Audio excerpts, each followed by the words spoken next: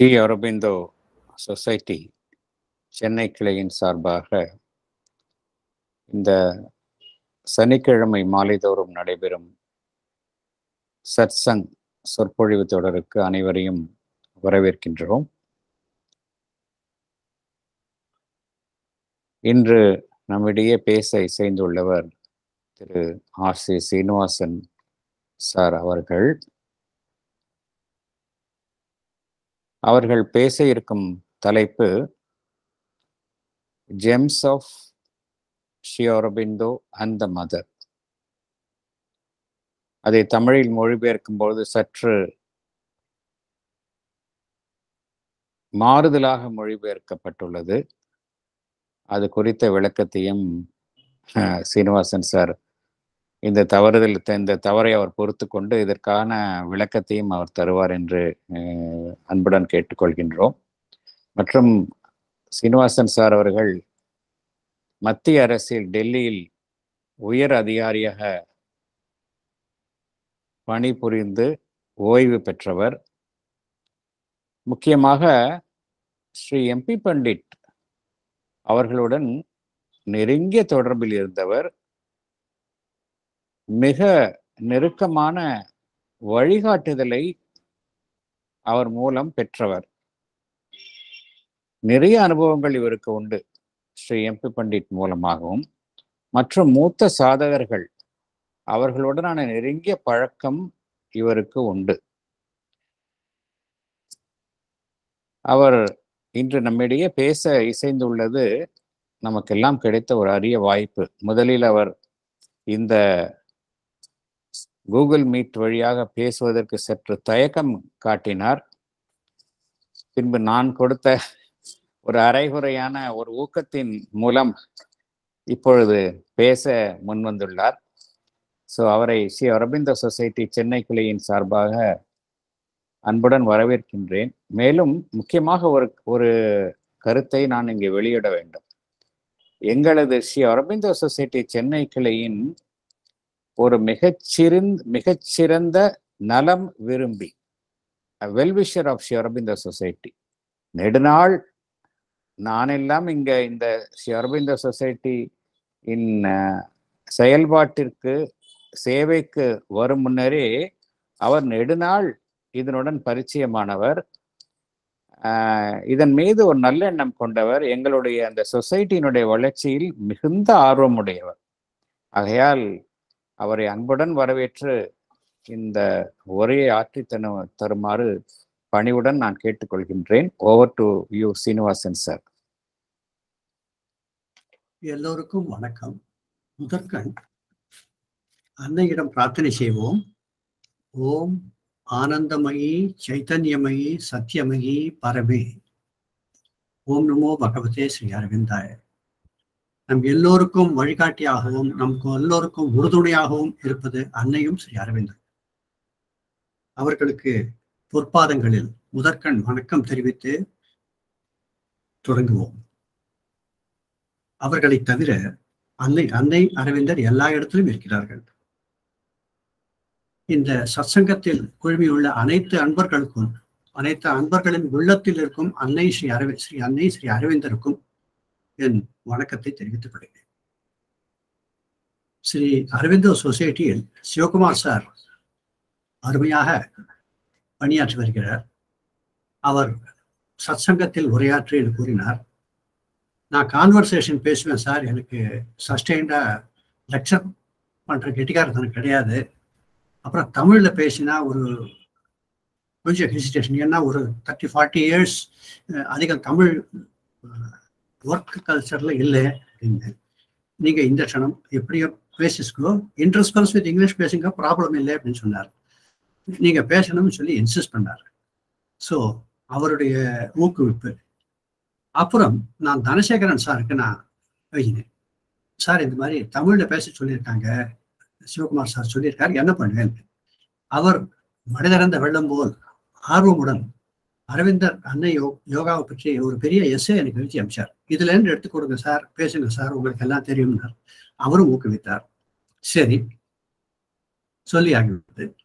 அன்னையின் வாசகங்கள் அரவிந்தரின் போதனைகள் நம் எல்லோருக்கும் ஒரு பக்கம் பரிச்சயம் சில பேருக்கு அதிகமாக பரிச்சயம் சில பேருக்கு குறைவாக பரிச்சயம் சில பேருக்கு இன்ட்ரோடக்ஷன் இருக்கு.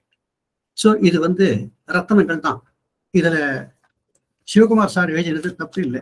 அது வந்து அன்னையின் அருள்னு வச்சுக்கோங்க. நான் அவருக்கு டைட்டில் கொடுத்தது priceless gems of the Mother and Sri Aravind நான் என்ன யோசனை பண்ணேன்னா அன்னையை பற்றி எல்லாருக்கும் தெரியும் அரவிந்தரை பற்றி தெரியும். அவருடைய நவரத்னங்கள் நவரத்னத்துக்கு மேல விக்ரமாயத்தனுக்கு நவரத்னங்கள் ஒன்பது பேர் தான்.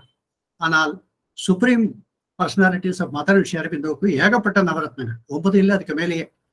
ஏகப்பட்ட நவரத்னங்கள். ஸோ அந்த ஜெம்ஸை நான் இம்டின் பண்ணேன். அவர் சிவகுமார் சார் வந்து ஜெம்ஸ் ஃப்ரம் ஸ்ரீ அரவிந்தோன்னு இன்டர்பிரேஷன் பண்ணிட்டார். அதுவும் ஒரு விதத்துல நல்லது. ஏன்னா இந்த ஜெம்ஸ் ஆஃப் ஸ்ரீ அரவிந்தோவை பத்தி பேசும்போது ஜெம்ஸ் ஆஃப் ஸ்ரீ அரவிந்தோவை பத்தி பேசாம இருக்க முடியாது. அவருடைய வார்த்தைகளே தன்னுடைய வாழ்க்கை சித்தாந்தமாகவே எடுத்துக்கொண்டு நடந்த பெரியோர்கள். அதனால் இரண்டும் ஒன்றரை கலந்திருக்கிறது. இது அன்னையின் அருள் என்று நான் எடுத்துக்கொள்கிறேன். இப்பொழுது அன்னை அரவிந்தர் சொசைட்டி மூலமாக பேசுவது ஒரு மகத்தான பேரின்பம் நன்மை. அரவிந்த ஆசிரமத்தில் எல்லோரும் இருக்கிறார்கள். ஆரவேலில் பக்தர்கள் இருக்கிறார்கள். அரவிந்தோ சொசைட்டி எல்லா இடத்துலையும் இருக்கிறது. சொசைட்டிக்கு மெயின் பர்பஸே அரவிந்தருடைய மெசேஜையும் அவருடைய போதனைகளையும் நல்வழிப்படுத்த அவருடைய ஆன்மீக வாழ்வில் நம் எல்லோருக்கும் உறுதுணையாக இருக்கிறது தான் இதன் பேர். இந்த பெரியோர்கள் நான் ஜெம்ஸ் நான் என்னுடைய மனசுல பட்ட ஜெம்ஸ் சொல்றேன். ஏகப்பட்ட ஜெம்ஸ். அதுல சில பேர் தான் நான் வந்து மென்ஷன் பண்றேன். எல்லாரையும் மென்ஷன் பண்ணல. எப்படி பார்த்தீங்கன்னா நாங்க பார்க்கும்போது ஸ்ரீ நளிதிகாந்த குப்தா அவர் ஒரு ஜெம். புராணி நவஜாதா கபாலி சாஸ்திரியார் பண்டிட் உதார் இவர் மகாலிங்கம் ஐயா அப்புறம் பவித்ரா ஏகப்பட்ட அன்பர்கள் ஏகப்பட்ட பெரியோர்கள் அரவிந்தர் அன்னையனுடைய வேலையில் முழு நேரமாக சாதித்து காட்டியிருக்கிறார்கள். அவர்கள் எல்லோருமே ஜெம்ஸ் தான். சரி அந்த ஜெம்ஸோட முடிஞ்சு போயிட்டா கதை என்ன? இல்லை. நாம் எல்லோருமே ஜெம்ஸ் தான். ஏன்னா ஸ்ரீ அரவிந்தர் சொல்லுகிறார் அரவிந்தர் வார்த்தை ஜெம்ஸ் இது ஒரு வார்த்தை. அரவிந்தர் சொல்லுகிறார் everybody is we are all starters in the race for God அப்படிங்கிறார். நாம் எல்லோருமே ஆன்மீக பாதையில் இறைவனை நோக்கி அடி எடுத்து வைப்பவர்கள் நாம் எல்லோருமே ஜெம்ஸ் தான். சில பேர் பட்டத்தேர்ந்த வைரமா இருக்கிறது. சில பேர் அப்பவா எக்ஸ்டிவேட் பண்ண வைரமா இருக்கும். அதனால இதுல வந்து தாரதமியம் ஒன்றும் இல்லை. எல்லோருக்கும் பொது அன்னை அரவிந்தர். இந்த பிரைஸ்லெஸ் ஜெம்ஸ்ல நாமளும் இன்க்ளூட் தான். எப்படின்னா இந்த பர்மனண்ட் பர்மனண்டா மதர் ஸ்ரீ அரவிந்தோ என்ஃபசைஸ் பண்ணது. நம் எல்லோருக்கும் சாத சாதனையில் முன்னேறுவதற்கு மூல மந்திரங்கள் aspiration rejection surrender aspiration rejection surrender இதை முன்னோடியாக வைத்துக்கொண்டு பார்த்தால் எல்லோ முன்னோர்களும் நான் சொன்னேனே நளினிகாந்த குப்தா புராணி சம்பக்லாஜி இவர்கள் எல்லாருமே வாழ்க்கை முறையை அதை வைத்தே செய்திருக்கிறார்கள். கம்ப்ளீட் சரண்டர் ஆஸ்பிரேஷன் இது எதுக்காக கேட்டேன்னா பூர்ண யோகத்தை பற்றி பேசுகிறோம் இன்டகிரல் யோகா பற்றி பேசுகிறோம் மூன்று கேள்விகள் எழுகிறது. இந்த பூர்ண யோகா பிலாசபியாக எழுதுறது சரி அரவிந்தர் எழுதிவிட்டார். அது நடைமுறையில் பண்ணுவ சாத்தியமா? யாரேனும் செய்திருக்கிறார்களா? அதற்கு வழி என்ன?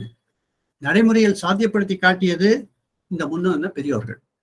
நடைமுறையில் இதை தவிர எத்தனையோ பெரியோர்கள் குடத்தில் ஊட்ட விளக்கு போல் பண்ணிக்கொண்டுதான் இருக்கிறார்கள். இந்தியாவில் மட்டுமல்ல உலகத்தில் எல்லா இடத்திலும் இன்ஸ்பிரேஷன் இருக்கிறது. Aravindar through the world inspiration கொடுத்திருக்கிறார். அதனால இந்த பா நடைமுறை பாதை இது பண்ண முடியும் என்பது வரும் இது எத்தனை டார்கெட் டேட் உண்டா?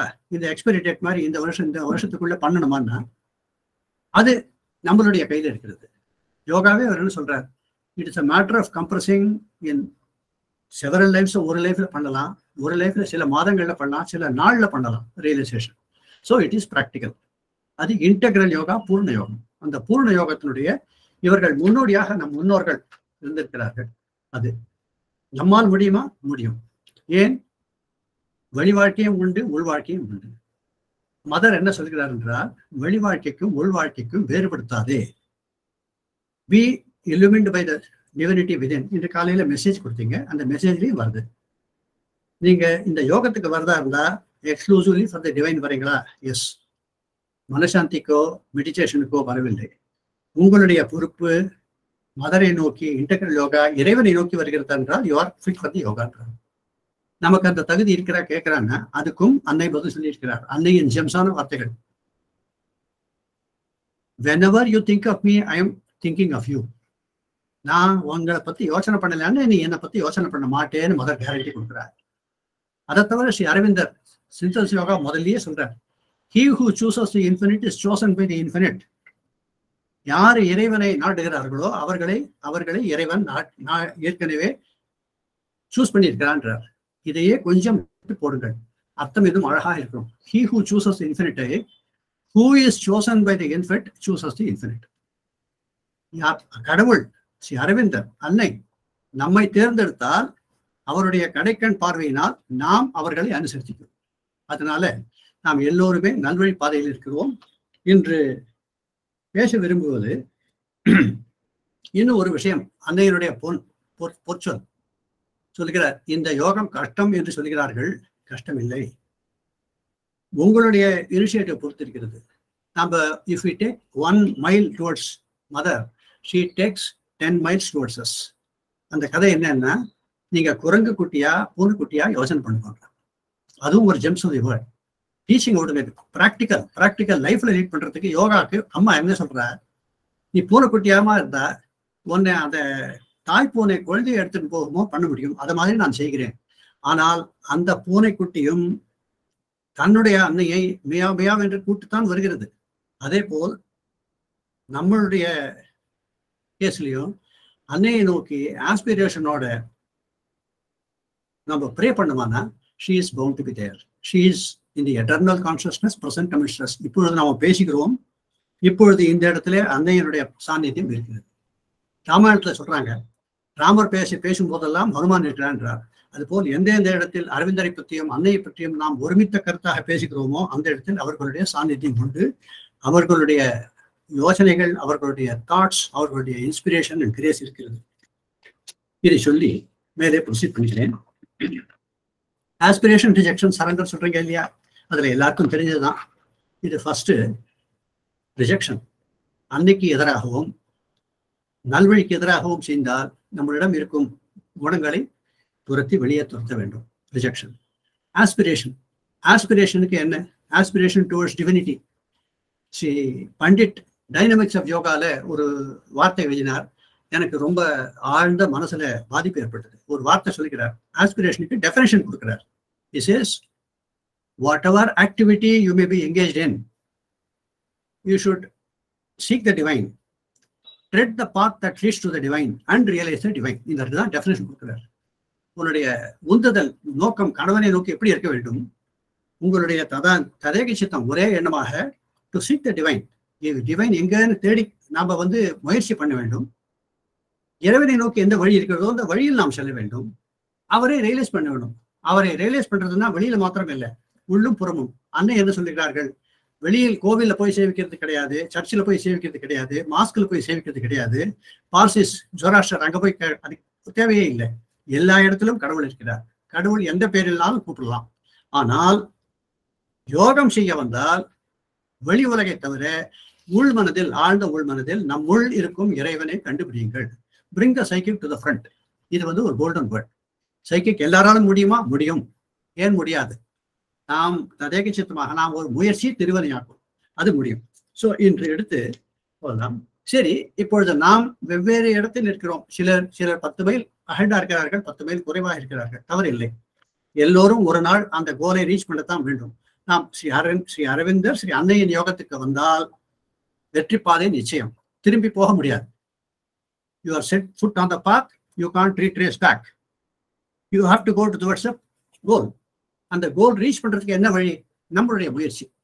நம்முடைய முயற்சி எப்படி பரிதமாகும்? அன்னையின் கருணை. Grace and personal effort are two sides of the same காயின்கிற நீங்க வந்து கிரேஸ் கேட்கறீங்க அருள் கேட்கறீங்க கருணை. கருணை இருக்கிறது அருள் இருக்கிறது. கருணை என்பது புத்தர் கொடுத்தது கருணை. கஷ்டப்படுவரை பார்த்து சிந்தித்து யோசனை பண்ணுவது கருணை. கிரேஸ் என்பது அருள். அந்த அருள் ஒரு ஒரு விதம் நான் கேட்டேன் பண்டிட்டிடம் கேட்டேன். கிரேஸ் கிரேஸ் என்கிறீர்களே நான் சாமானிய வாழ்க்கையில் பொய்ப்பித்தலாட்டம் செய்கிறேன் தவறுகள் செய்கிறேன். கிரேஸ் அன்னையை நோக்கி வந்தவர்களுக்கு உண்டா என்று அவர் சிரித்து கொண்டு சொன்னார் அன்னை சொல்லுகிறார் grace does not depend on your deserts நீ செய்கிற உன்னுடைய புற வாழ்வை பொறுத்து கிரேஸ் கிடையாது. Grace flows because it chooses to flow otherwise it won't be grace அப்படின்னா அது வந்து பொறி தட்டியது ஸோ மதர் இன்னொரு இடத்துல சொல்றாங்க. There are people who go away from Mother people go away from me but I don't leave you so மதருடைய தலைப்பை நாம் பிடித்து கொண்டால் மதர் நம்மை விட்டு விலகுவதில்லை. எவ்வளவு தவறு செய்தாலும் return of the prodigal son தவறே செய்து விட்டேன் ஆனால் அன்னை நம்மை மன்னித்து ஏற்றுக்கொள்வார். நாம் சரியாக நடந்து கொண்டால் அவருடைய உள்ளம் குளிர்ந்து நம்முடன் இருக்கிறார். அப்படி எடுத்துக்கொள்வோம். இப்பொழுது இந்த பெரியோர்களை பற்றி பேசினோம். பெரியோர்களில் இந்த ஜெம்ஸ்ல எப்ப பேர் ரொம்ப பேர் இருக்கார் நவஜாத்தா இருந்தார் ஸ்ரீ அரவிந்தோ சொசைட்டி ஆரம்பிப்பதற்கு மூல காரணம் அவர். உதார் இருந்தார் உலகத்தில் நிறைய வேலை பண்ணியிருக்கிறார். உதாரை மதர் சொல்லுவார் ஒரு நீ ரோமன் எம்பரரா இருந்திருக்கிறார் என்றார். யார் என்று குறிப்பிடவில்லை. ஆனால் என் மனதுக்கு பட்டது ஹேட்ரியன் ஹேட்ரியன் வால் கட்டினான் ஹேட்ரியன் எம்பரர். சம்பக்லால் இருந்திருக்கார். Complete service service and devotion Mother and Sri அரவிந்தோக்கு. Nalinikanta Gupta பெரியவரோட அலிப்பூர் கேஸில் இருந்திருக்கார். ரைட் த்ரூ அவரோட கூடவே இருந்திருக்கார் நந்திகாந்த குப்தா. புராணி அவரும் எல்லாம் ஃப்ரீடம் ஃபைட்டர்ஸா இருந்து கூட வந்து ஆன்மீக பாதையில் வந்து அதை கண்கூடாக நடத்தியவர்கள் ஒரு பெரியவர்கள் அப்பேற்பட்ட பரம்பரை. சாதாரணமா ஒரு ஃபேமிலி நம்ம எடுத்தோம்னா உங்களுடைய மூதாதையர் யார்? உங்களுடைய கிராண்ட் ஃபாதர்ஸ் யார்? எந்த இடத்துல இருந்து வருகிறான்னு கேட்பார். எந்த ஊரு எந்த பேரு? நமக்கு எந்த ஊரு எந்த பேருன்னா அன்னை அரவிந்தர். நமக்கு நடுவில் இத்தனை பேர் சாதிச்சு காட்டியிருக்கிறார் என்றால் இவர்கள் எல்லோரையும் நாம் முன்னோர்களாக எடுத்துக்கொள்வோம் முன்னோடிகளாக எடுத்துக்கொள்ளலாம். அவர்கள் செய்யும் அவர்கள் செய்வித்த வேர்ட்ஸ் இருக்கிறது. புக்ஸ் இருக்கிறது லெக்சர் இருக்கிறது அவர்கள் செய்த சேவையினுடைய கண்கூடான மொழி இருக்கிறது. இது எல்லாமே நமக்கு பிடித்தபடி நமக்கு இன்டலெக்சுவலா படிக்கணும்னா பேப்பர்ஸ் இருக்கு வேர்ட்ஸ் இருக்கு புக்ஸ் இருக்கு.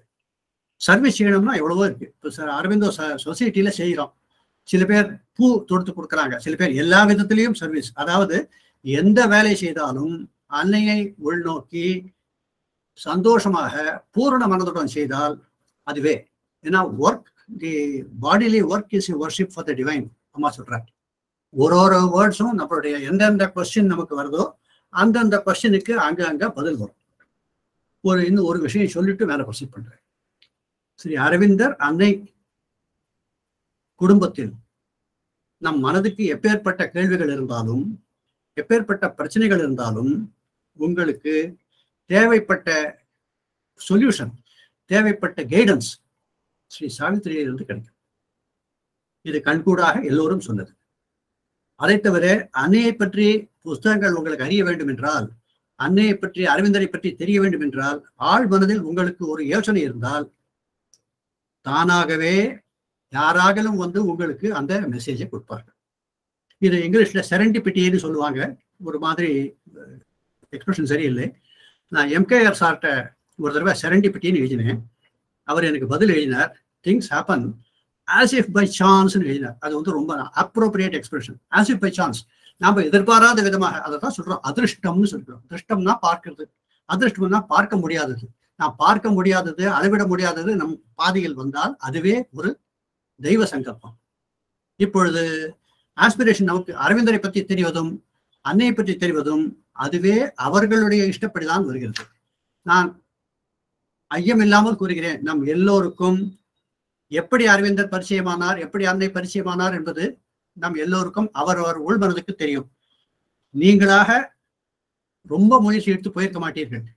யாராவது ஒரு நண்பரோ யாராவது ஆபீஸ் கலீகோ இல்ல பேமெண்ட்ல இருக்கிற புஸ்தகத்தை பார்த்தோ எங்கேயோ உங்களுக்கு நீங்க அந்த பொறி தட்டி இருக்கும் இதை எடுத்து படிச்சிருப்பீங்க.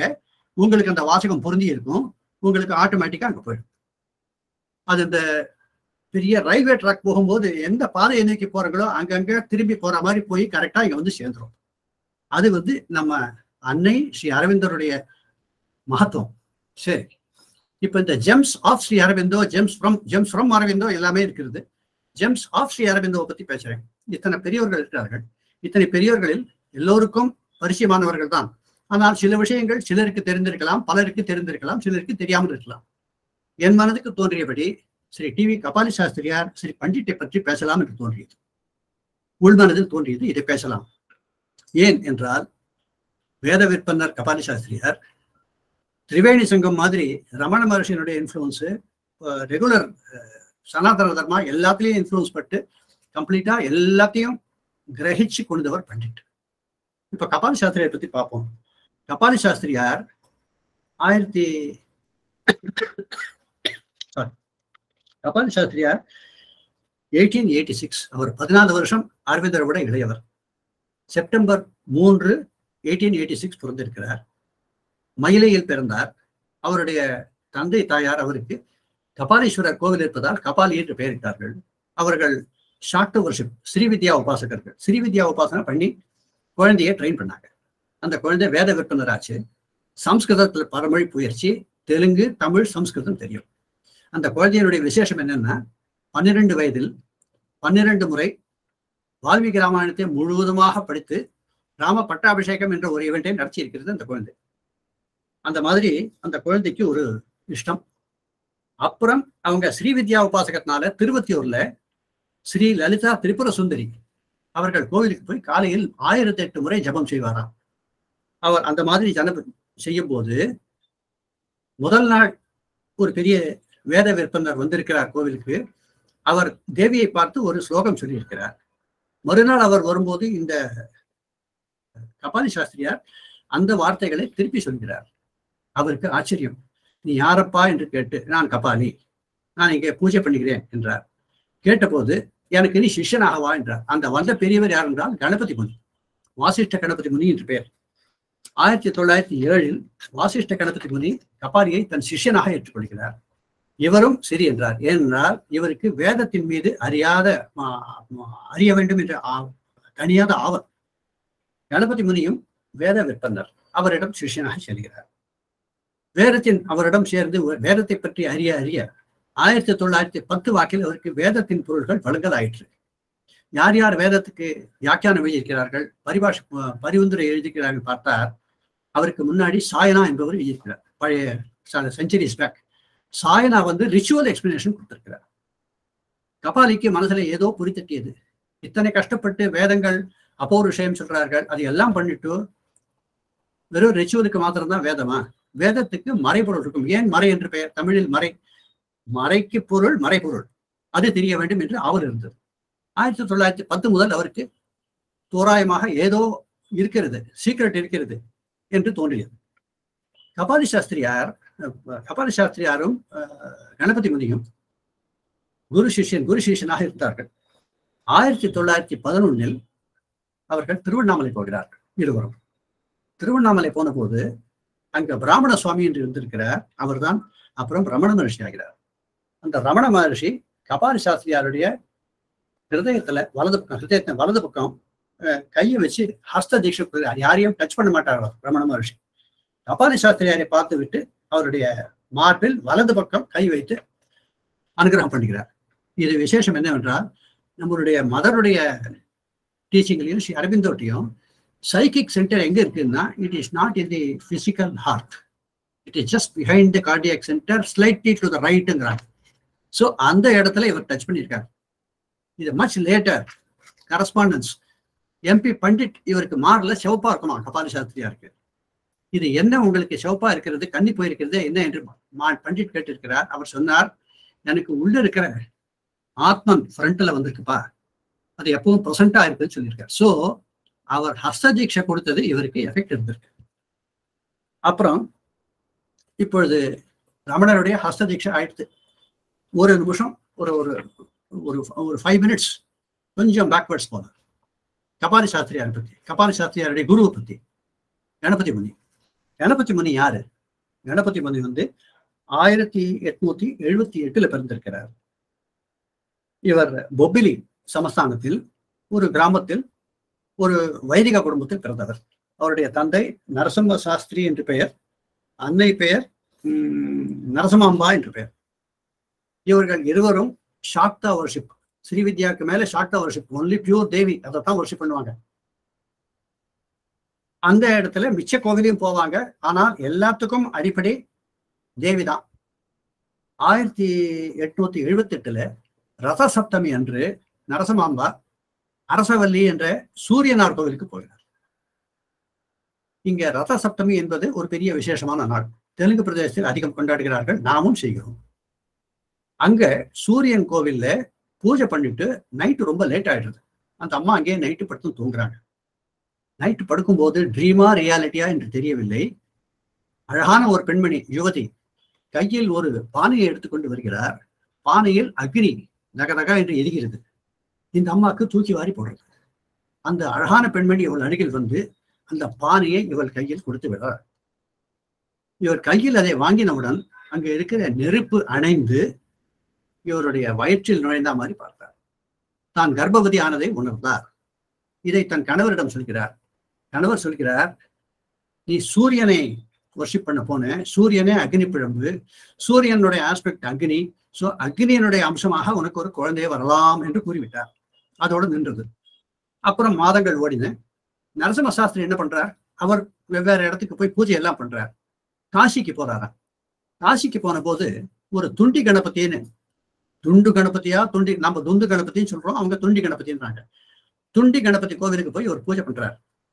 இவர் சொல்லும் போது கணபதியினுடைய உருவத்திலிருந்து ஒரு சிறுவன் பாலகன் எழுந்து வந்து இவருடைய மடியில் உட்கார ஒரு போல் பார்த்தார். இவருக்கு தூக்கி வாரி போட்டது. என்னடா நம்ம கோவிலுக்கு போறோம் கணபதியை பார்க்கிறோம் டக்குன்னு ஒரு குழந்தை எங்கேதோ வருதையும் மடியில வந்து உட்காந்து அப்புறம் குழந்தை வேனிஷ் ஆயிடுது. அதே சமயம் நரசமாம்பாக்கு குழந்தை பிறக்கிறது.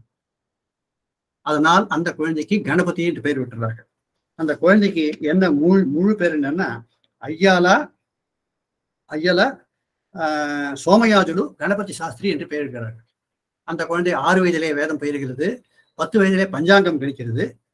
ஆனால் அந்த குழந்தைக்கு எப்பவும் ஜபம் மந்திரம் தபஸ் இதுதான் திருப்பி திருப்பி திருப்பி அந்த குழந்தை யோசனை பண்ணிட்டு இருக்கு. தபஸ் செய்ய வேண்டும் தபஸ் செய்ய வேண்டும்னு. அது என்ன அதுக்கு ஃபிக்சேஷனும் தெரியாது இது இருந்தது. அதனால் ஒவ்வொரு இடமா ஒவ்வொரு கஷேத்திரமா போயிட்டு ஏதான ஒரு கோவிலில் ஏதான ஒரு குழு கிடைக்குமா யாரான குரு கிடைப்பாரான்னு பார்த்துன்னு போயிட்டு இருக்கு அந்த குழந்தை. லிங்கராஜ் டெம்பிள் இருக்கான் ஒரிசால அங்க போறார்.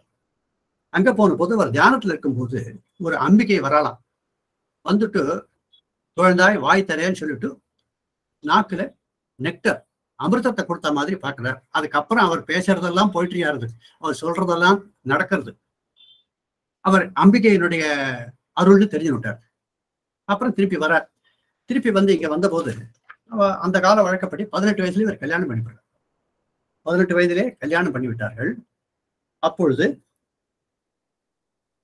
பெரிய வேலை ஒன்றும் இல்லை வேதங்கள் படித்திருக்கிறார் தபஸ் செய்ய பார்த்திருக்கிறார். அந்த அன்னையன் ஒருளால் இவருக்கு நாக் சுத்தி வந்து விடுகிறது.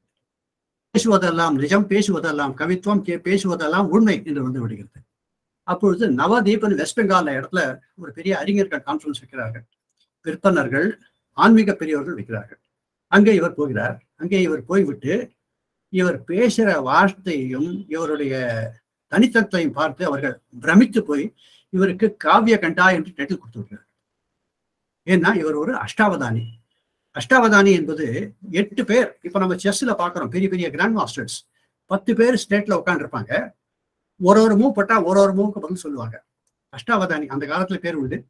அஷ்டாவதானி சதாவதானி சதாவதானி நூறு பேருக்கு பதில் சொல்றாங்க அஷ்டாவதானினா எட்டு பேருக்கு கேட்ட கல்விக்கு எட்டு பேருக்கும் ரிவர்ஸ்ல கரெக்டா கேட்டாலும் பதில் சொல்லுவாங்க.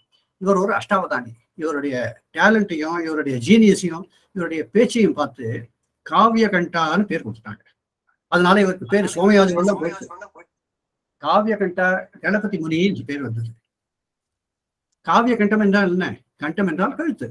காவிய கண்டம் அவர் கழு அவர் கழுத்து தொண்டையிலிருந்து வரும் வார்த்தைகள் எல்லாமே காவியம்தான். ஏன்னா சிரிச்சல்ல சொல்றோம். நீலகண்டன் என்று குறிக்கிறோம் நீலகண்டன் என்றால் என்ன? கழுத்து நீளமா இருக்கிறது. சிவனுக்கு பேர் என்று சிவராத்திரி. சரி நீலகண்டன். காவியகண்டன் பேர் வந்தது இந்த காவியகண்டன் நவதீபால இருந்து அப்புறம் வர நைன்டீன் நாட் த்ரீ நவதீபால டைட்டில் வாங்கியாச்சு. நைன்டீன் நாட் ஃபோர் வர வேலை என்ன பண்ணணுமே? கல்யாணம் ஆயிடுச்சு. என்ன பண்ணணும்? வேலூர்ல ஒரு சம்ஸ்கிருத பண்டிட்டா ஸ்கூல்ல வேலை பண்றார். அங்கேயும் வச்சுட்டு பூஜை புனஸ்காரம் எல்லாம் பண்றார். அவருக்கு மனசு சாந்தி ஆகவில்லை ஆயிரத்தி தொள்ளாயிரத்தி ஏழில் கபாலியாரை அழைத்துக் கொண்டு திருவண்ணாமலை போகிறார். திருவண்ணாமலையில் அப்பொழுது பிராமண சுவாமி என்று ஒருவர் இருக்கிறார். யாரும் பேசவில்லை. பதினோரு வருஷம் யாரும் பேசவில்லை. அப்பொழுது இவருக்கு ஆறாத வேட்கை. யாரிடம் கேட்டு தெரிந்து கொள்வது? ஏன்னா கபாலி சாஸ்திரம் மாதிரி வேற வந்து யாரிடம் கேட்டு பதில் சொல்வது வருது? இது இந்த உந்துதல். இதுதான் இந்த ஆஸ்பிரேஷன் இந்த கொஸ்டினிங் எப்படி ஏது எப்படின்னு கேட்டதுதான். ஏன் என்று கேட்டது எப்படி என்று கேட்பது அவருக்கு உறிஞ்சிவித்திருந்தது அப்பொழுது அந்த பிராமண சுவாமியை பார்த்து கேட்டார் நான் இத்தனை ஜபம் செய்திருக்கிறேன் இத்தனை மந்திரங்கள் சொல்கிறேன் இத்தனை உபாசனை செய்கிறேன் தபஸ் பண்ண வேண்டும் என்று வெவ்வேறு இடங்களாக போய்கிறேன் என்று ஒன்றும் பலிதமாகவில்லையே ஏன்? என்று கேட்டார். என்ன தபஸ் என்றால் என்ன? எனக்கு தெரியவில்லையா? என்று கேட்டார். பதினோரு வருடம் பேசாத ஒரு துறவி இவரை பார்த்து சொன்னாராம் தபஸ் என்பதை பற்றி கேட்கிறாயா? நான் நான் என்று எது கூறுகிறாயோ நான் எங்கிருந்து உற்பத்தி ஆகிறது அந்த இடத்தில் போய் பார். அதை எது என்று கண்டுபிடி. அதுதான் தபஸ். மந்திரங்கள் இவ்வளவு சொல்லிக்கிறாயே மந்திரங்கள் எங்கிருந்து வந்தது? ஆரிஜின் என்ன? அந்த ரூட்ல இன்னர் சைட்ல போய் நீ ரூட்ல போய் பாரு. அதுதான் தபஸ் என்றாராம். இது கேட்ட உடனே ஒரு புலகாங்கிதமா கண்ணிலிருந்து தண்ணீர் வருகிறது யாரும் கொடுக்காத எக்ஸ்பிளனேஷன் அவர் சொன்னார் நீங்க ஒரு ரிஷி. நீங்க பகவானே. அப்படின்னு சொல்லி சாஷ்டாங்கமா விழுந்து தன் வலது கையால் அவருடைய வலது காலையும் தன் இடது கையால் அவருடைய இடது காலையும் பிடித்து ஸ்ரீ பகவான் ரமண மகர்ஷி என்று அழைத்தார். அந்த பிராமண சுவாமிக்கு அதுக்கப்புறம் ரமண மகர்ஷின்னு தான் பேர். இவர் கொடுத்த பேர். அவர் என்ன பண்ணார்? இவர் தெலுங்கு தேசத்துல இருந்ததுனால நாயனா என்று கூப்பிட்டார். அவர் நாயனா இவர் ரமண மகர்ஷி. இந்த உருவத்தோடு முடியவில்லை. ஏனால் இவர் கணபதி அம்சம். அவர் முருகன் அம்சம் என்று கூறுகிறார்கள். ஏனென்றால் கணபதி பார்த்து கொண்டிருக்கும் போதே ஆறு அக்னி ஜுவாலைகள் கிளம்பி வந்து ரமணருடைய நெற்றியில் நுழைந்ததாம். அதை எழுதியிருக்கிறார் நெற்றியில் நுழைவே இந்த நம்ம பிலீஃப் பிரகாரம் என்ன சொல்றோம்? ஆறுமுகம். தீப்பொறி க- சிவனுடைய கண்ணில இருந்து வந்த ஆறு தீப்பொறிகள் ஆஹ், கந்தனுக்கு ஆறு ஆறு முகம் சொல்றோம். இது அந்த தீப்பொறியில இருந்து வந்தது. ஆறு கணிகைகள் எடுத்து வந்தான்னா அதை பார்த்தா இவர் முருகன் இவர் கணபதி இருந்தார்கள். அந்த உறவு இருந்தது. உடனே ஆயிரத்தி தொள்ளாயிரத்தி ஏழிலேயே அவர் நம் இருவருக்கும் காமன் உமா. உமையன் உமையனுடைய புத்தகங்கள் தானே கணபதியும் ஸ்கந்தனும். உமா சாஸ்திரம் எழுத ஆரம்பிக்கிறேன் என்றார். ஏன்னால் விஷ்ணு சாஸ்திரநாமம் உண்டு லலிதா சாஸ்திரநாமம் உண்டு உமா சாஸ்திரம் எழுதுகிறேன் என்கிறார். இருபது நாளில் எழுதுகிறேன் என்கிறார். அந்த பாண்டித்யம் உள்ளவருக்கு. எட்நூறு poems எழுதிடுறார் எட்நூறு எழுதிடுறார் பத்தொன்பது நாள் ஆயிடுது இருபதாவது நாள் கம்ப்ளீட் பண்ணணும். இன்னும் இருநூறு ஸ்டான்ஸா பாக்கி இருக்கு. அவருக்கு புரியல. ரமணர் போய் சொல்ற எட்நூறு கவனம் பண்ணிவிட்டேன் இருநூறு வரவில்லை. நீங்கள் அருள் புரிய வேண்டும் என்கிறார். ரமணர் சொல்கிறார் நான் உட்காருகிறேன் நீ யோசனை பண்ணுறார் ரமணர் கண்மூடி உட்கார இவர் ஒரே இரவில் இருநூறு பாசுரங்களை பாடுகிறார். இந்த பாசுரங்கள் முடியும் வரை ரமணர் கண்மூடி அமர்ந்து விட்டு பாசுரங்கள் முடிந்தவுடன் கேட்கிறார் how you taken down all that is it நான் சொன்னதெல்லாம் எடுத்து நோட்டியான்னு கேட்டார். ஸோ இவர் எழுதின இரநூறு இவருடைய ஓன் கவனம் கிடையாது.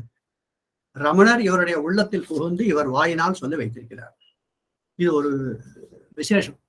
இது வந்து கிராஸ் வைஸ் மிச்சர் ரெஃபரன்ஸ் நான் ரிலிஜியஸ் டெக்ஸ்ட் நினைக்க வேண்டாம் ஜென்ரலாக சொல்றேன்.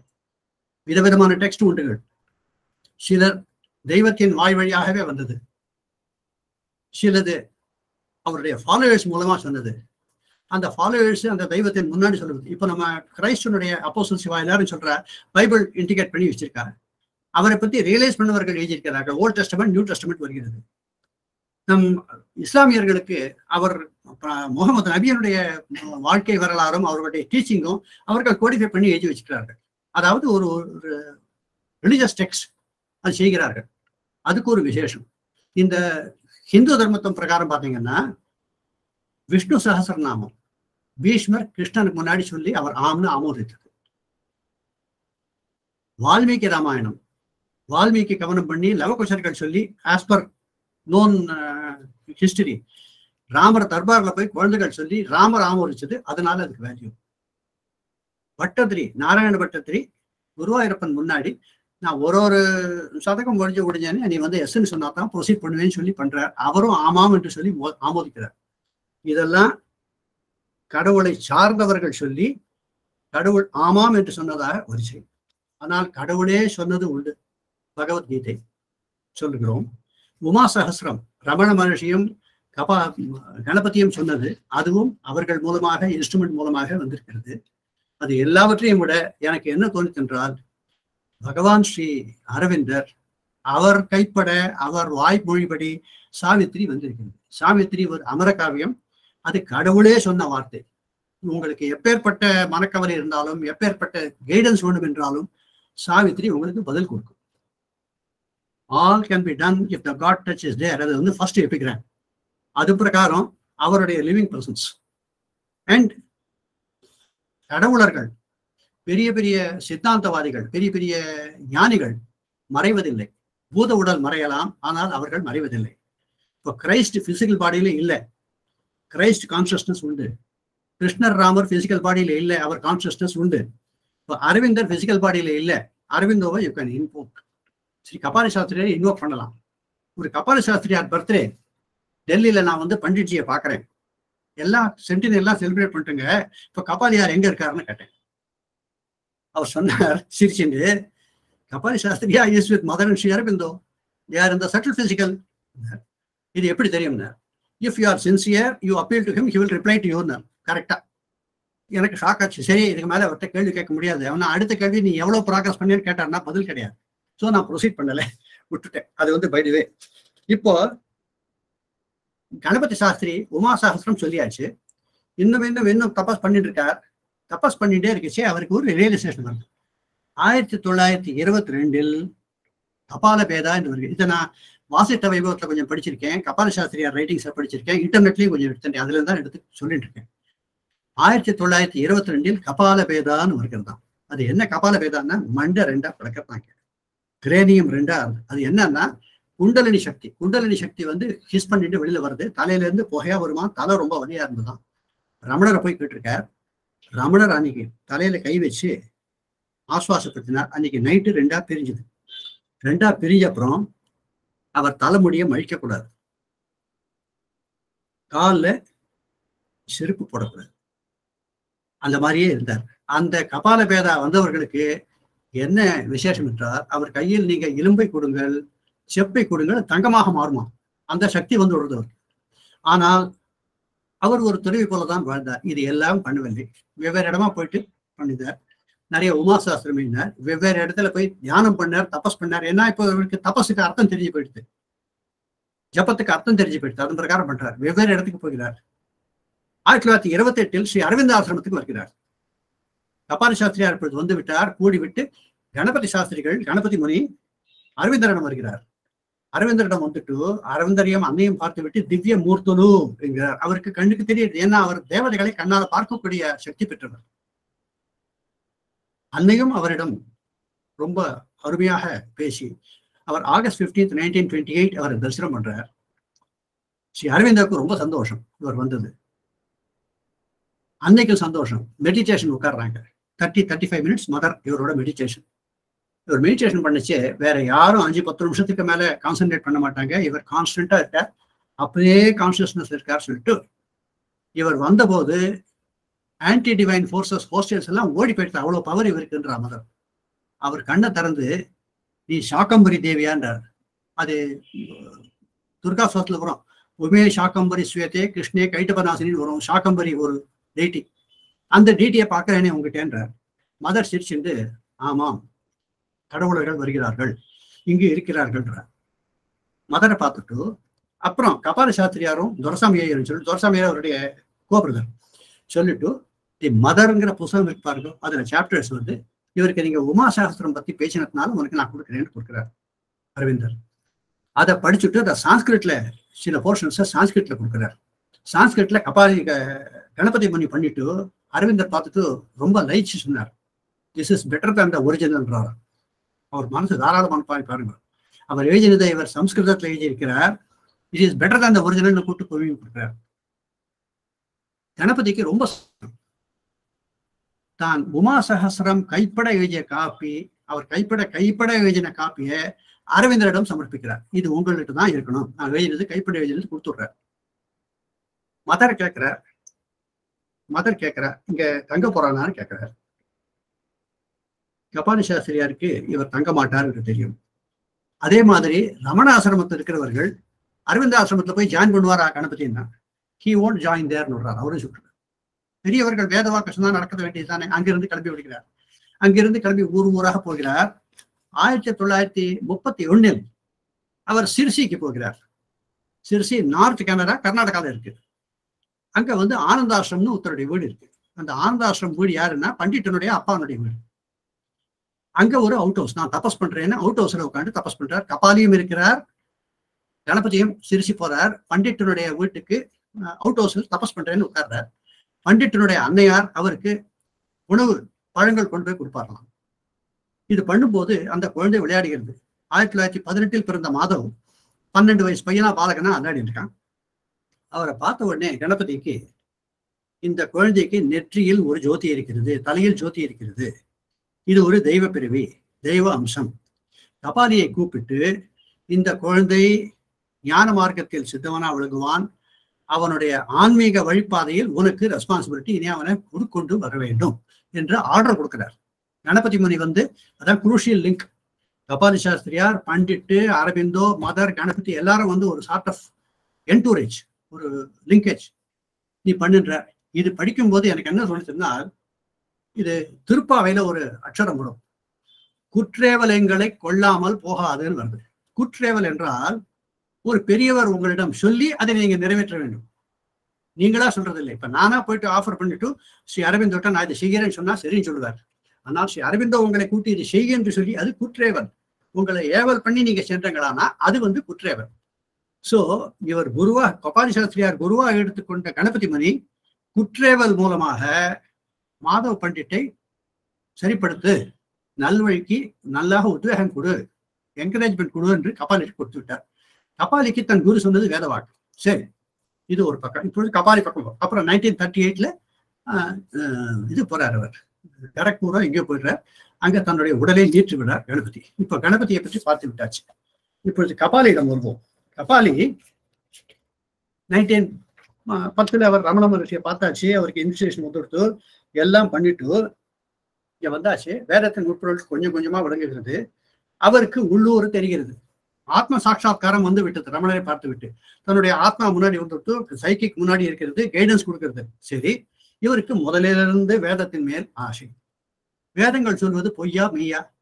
அது வெறும் ரிச்சுவல் தானா? ஏதான உட்பொருள் இருக்கிறதா? மறை மறையாக இல்ல வெளிப்படையா? அதை யோசனை பண்ணிருக்காரு சில விஷயங்கள் இவர் கண்ணுக்கு இவருக்கு மனசுக்கு தெரிகிறது. இவருடைய ஆத்மார்த்தமாக இவருக்கு தெரிகிறது. சில விஷயங்கள் வெளிப்படையாக சொல்லவில்லை. ஒரு விஷயம் சம்ஸ்கிருதத்தில் ஒரே வார்த்தைகளுக்கு நாலு ஐந்து அர்த்தங்கள் வர முடியும். ஸோ அதை போய் பார்க்கும்போது இவருக்கு சந்தேகம் தட்டியது. சாயா என்பவர் முன்னாடி எழுதிய கமெண்டரி பியூர்லி ரிச்சுவலா இருக்கிறது. ரிச்சுவல் மாத்திரம் இல்லை ஏன்னா இது ஆத்மீ ஆன்மீக பாதைக்கு எழுதிய வழிகாட்டு. வேதங்கள் என்ன சொல்கிறார்கள் என்றால் it is done by seers இருக்கிறாங்க சியர்ஸ்னா யாரு? கண்ணால் பார்க்கிறவர்கள்.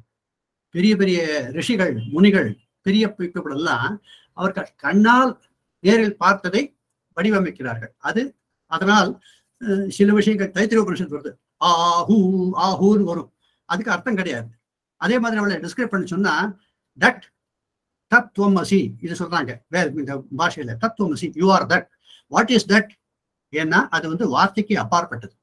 It is beyond the words it is beyond the mind ஏன்னா அவர்களுக்கு இன்ஸ்பிரேஷன் இன்டுவேஷன்ல வரத தே கோடிஃபை அந்த சமயத்துல அந்த வார்த்தை எது வருதோ அது வந்து வார்த்தைகளா போயிட்டு அந்த வார்த்தைக்கு அந்த அர்த்தம் வருகிறது.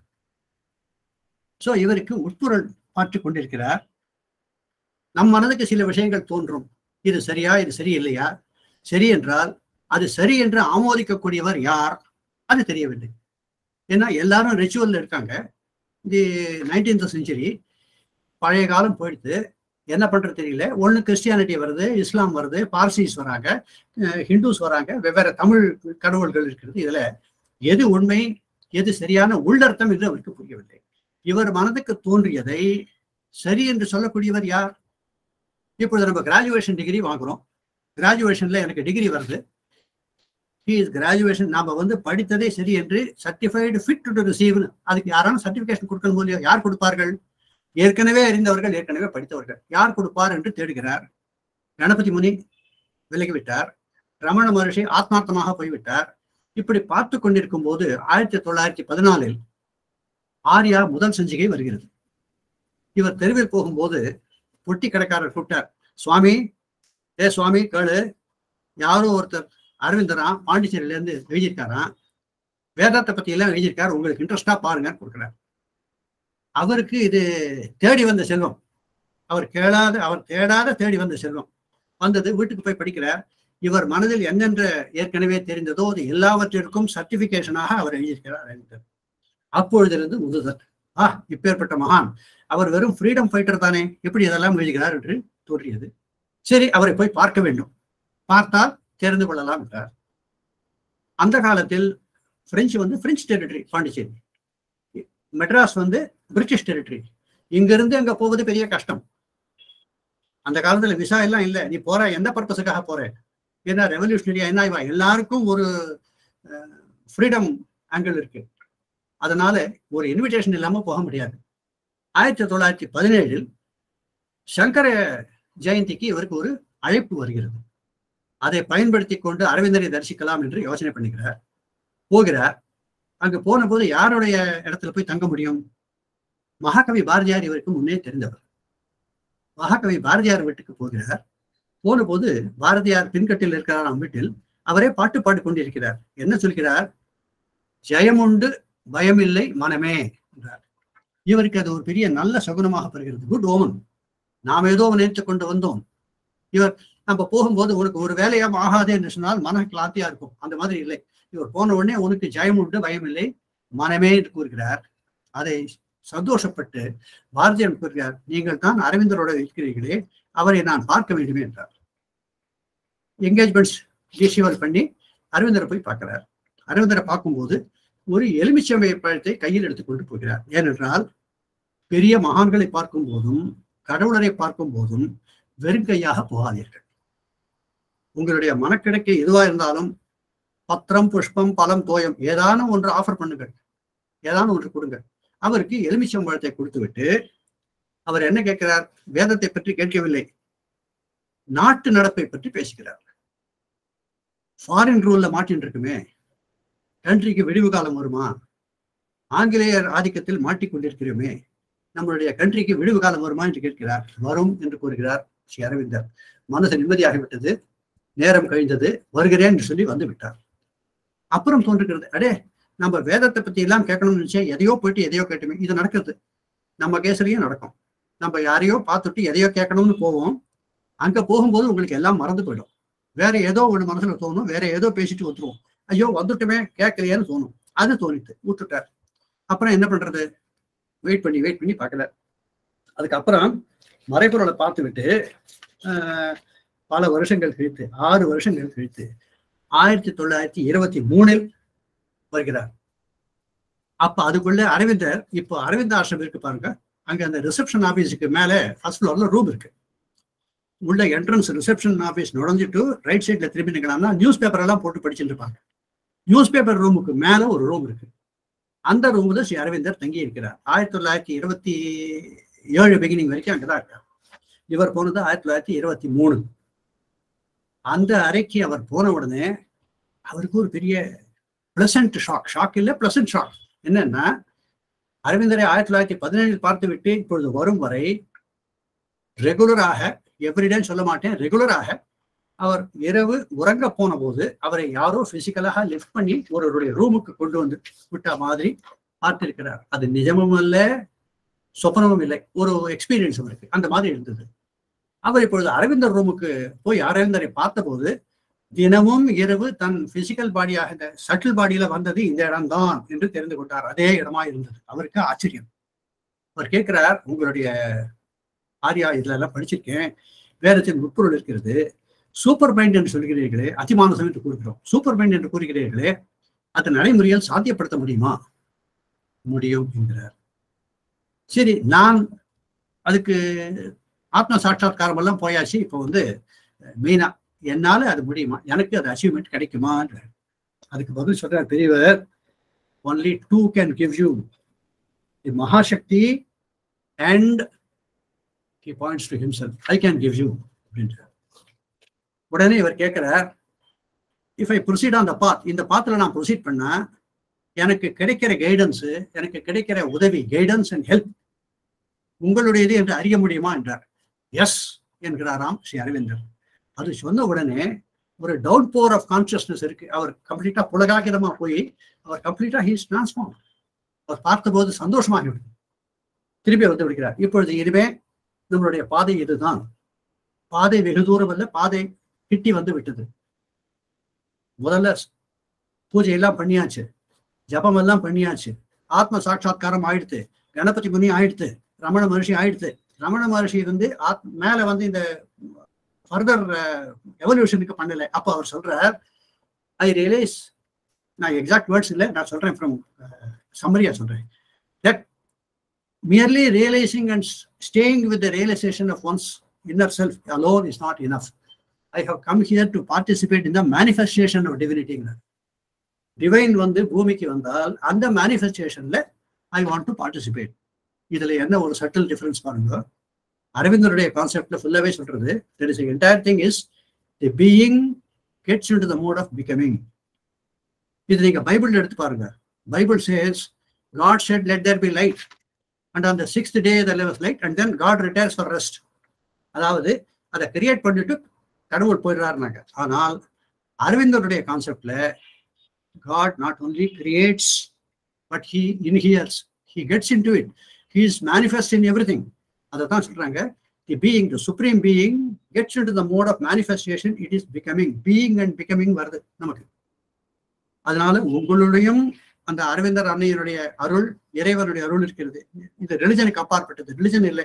நீங்க கிறிஸ்டியன் இல்லை முஸ்லீம் இல்லை பார்சி இல்லை ப்ராடஸ்டன்ட் இல்லை ஹிந்து இல்லை. இதுக்கு அப்பாற்பட்டது. நீங்க அந்த குலத்துல பிறந்திருக்கலாம். இப்ப நான் ஹிஸ் நான் ஹிந்து நான் வேர் பண்றேன். பிறந்த இதை நான் எம் நாட் லீவிங் மதர் வந்து ரிலிஜனை வந்து டெஸ்பைஸ் பண்ணலை. உன்னுடைய ரிலிஜனை நீ ஃபாலோ பண்ணு. ஆனால் ஆன்மீக பாதையில் ரிலிஜனுக்கு அப்பாற்பட்டது. அந்த விஷயத்துல இவர் அப்பேற்பட்ட வேத விற்பனர் அரவிந்தரிடம் வந்து சரணாகதி அடைகிறார். ஆயிரத்தி தொள்ளாயிரத்தி இருபத்தி ஒன்பதில் வந்து விடுகிறார். இருபத்தி ஒன்பதில் வந்தும் ஒரு குருவிடமிருந்து இன்னொரு குரு போறதா இருந்தால் ஸ்பிரிச்சுவல் கான்சிக்வன்சஸ் பேடா இருக்கும். அதனால அவர் ரமணரிடம் போயிட்டு சொல்லுகிறார் இந்த மாதிரி நான் அங்க போய் ஜாயின் பண்ண போறேன். ரமணர் சரி என்றார். அவர் பாருங்க அவர் இந்த நன்றி கடன் அவர் இனிஷியேட் பண்ணதுக்கு ரமணாசிரமத்தை ரமண கீதை வாசிட்ட வைபவம் எல்லாவற்றுக்கும் உரை எழுதுகிறார். உரை எழுதி சமர்ப்பிக்கிறார். அதை ரமணரிடம் படித்து காண்பிக்கிறார். நான் சொன்னேனே அவரிடம் பெரியவரிடம் படித்து அவருடைய அப்ரூவல் வாங்கினா it has a stamp of value stamp value படித்து காட்டுகிறார். சரியாக இருக்கிறது. ரொம்ப சந்தோஷம் ரமணருக்கு. ஆனாலும் ரமணருக்கு உள்மனதில் இவர் தன்னை விட்டு போகிறாரே என்று இருந்திருக்க வேண்டும். ஏனென்றால் அவர் சத்தம் பாருங்க அது ஒரு விசேஷமா இருந்தது ஆயிரத்தி தொள்ளாயிரத்தி முப்பத்தொன்னுல இவருடைய டைரி நோட்ஸ்ல எழுதுறார். Third August nineteen thirty one நான் இங்கிலீஷ்ல படிக்கிறேன் பாருங்க டுக் லீவ் ஆஃப் மகரிஷி அதுக்கப்புறமும் போயிருக்கார். ஆனால் அந்த இடம் ரொம்ப significance took leave of Maharishi மகரிஷியிடம் விடை பெற்றேன் he gave a broad smile to S and V S என்பவர் ஒருவர் வி என்பவர் ஒருவர். அவர்களுக்கு மந்தஹாசமாக புன்னகை கொடுத்தார். He gave a broad smile to S and V to me இது கபாலி எழுதுறார். To me he gave a calm and significant leave to go அமைதியாக ஒரு பொருளுறந்த பாணியில் எனக்கு எனக்கு விடை கொடுத்தார். அப்புறம் ஒரு லெட்டர் எழுத பாருங்க. His right eye showed check tears அவருடைய வலது கண் தண்ணீர் தழும்பி இருந்தது. தண்ணீர் வெளியில் வரவில்லை. கண்ணீர் தழும்பி இருந்தது. Is right eye showed check tears அவர் பெரிய யோகி. அந்த டியர்ஸை செக் பண்ணிட்டார். கீழே விழலை. சரி ஏன் செக் பண்ணார்?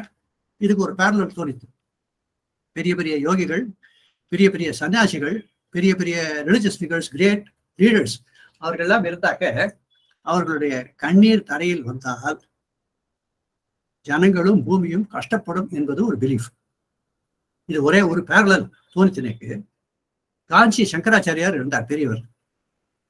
அவர் முற்றும் திறந்த முறவி துறவி. அவரை கடவுளாக கும்பிடுபவர்கள் உண்டு.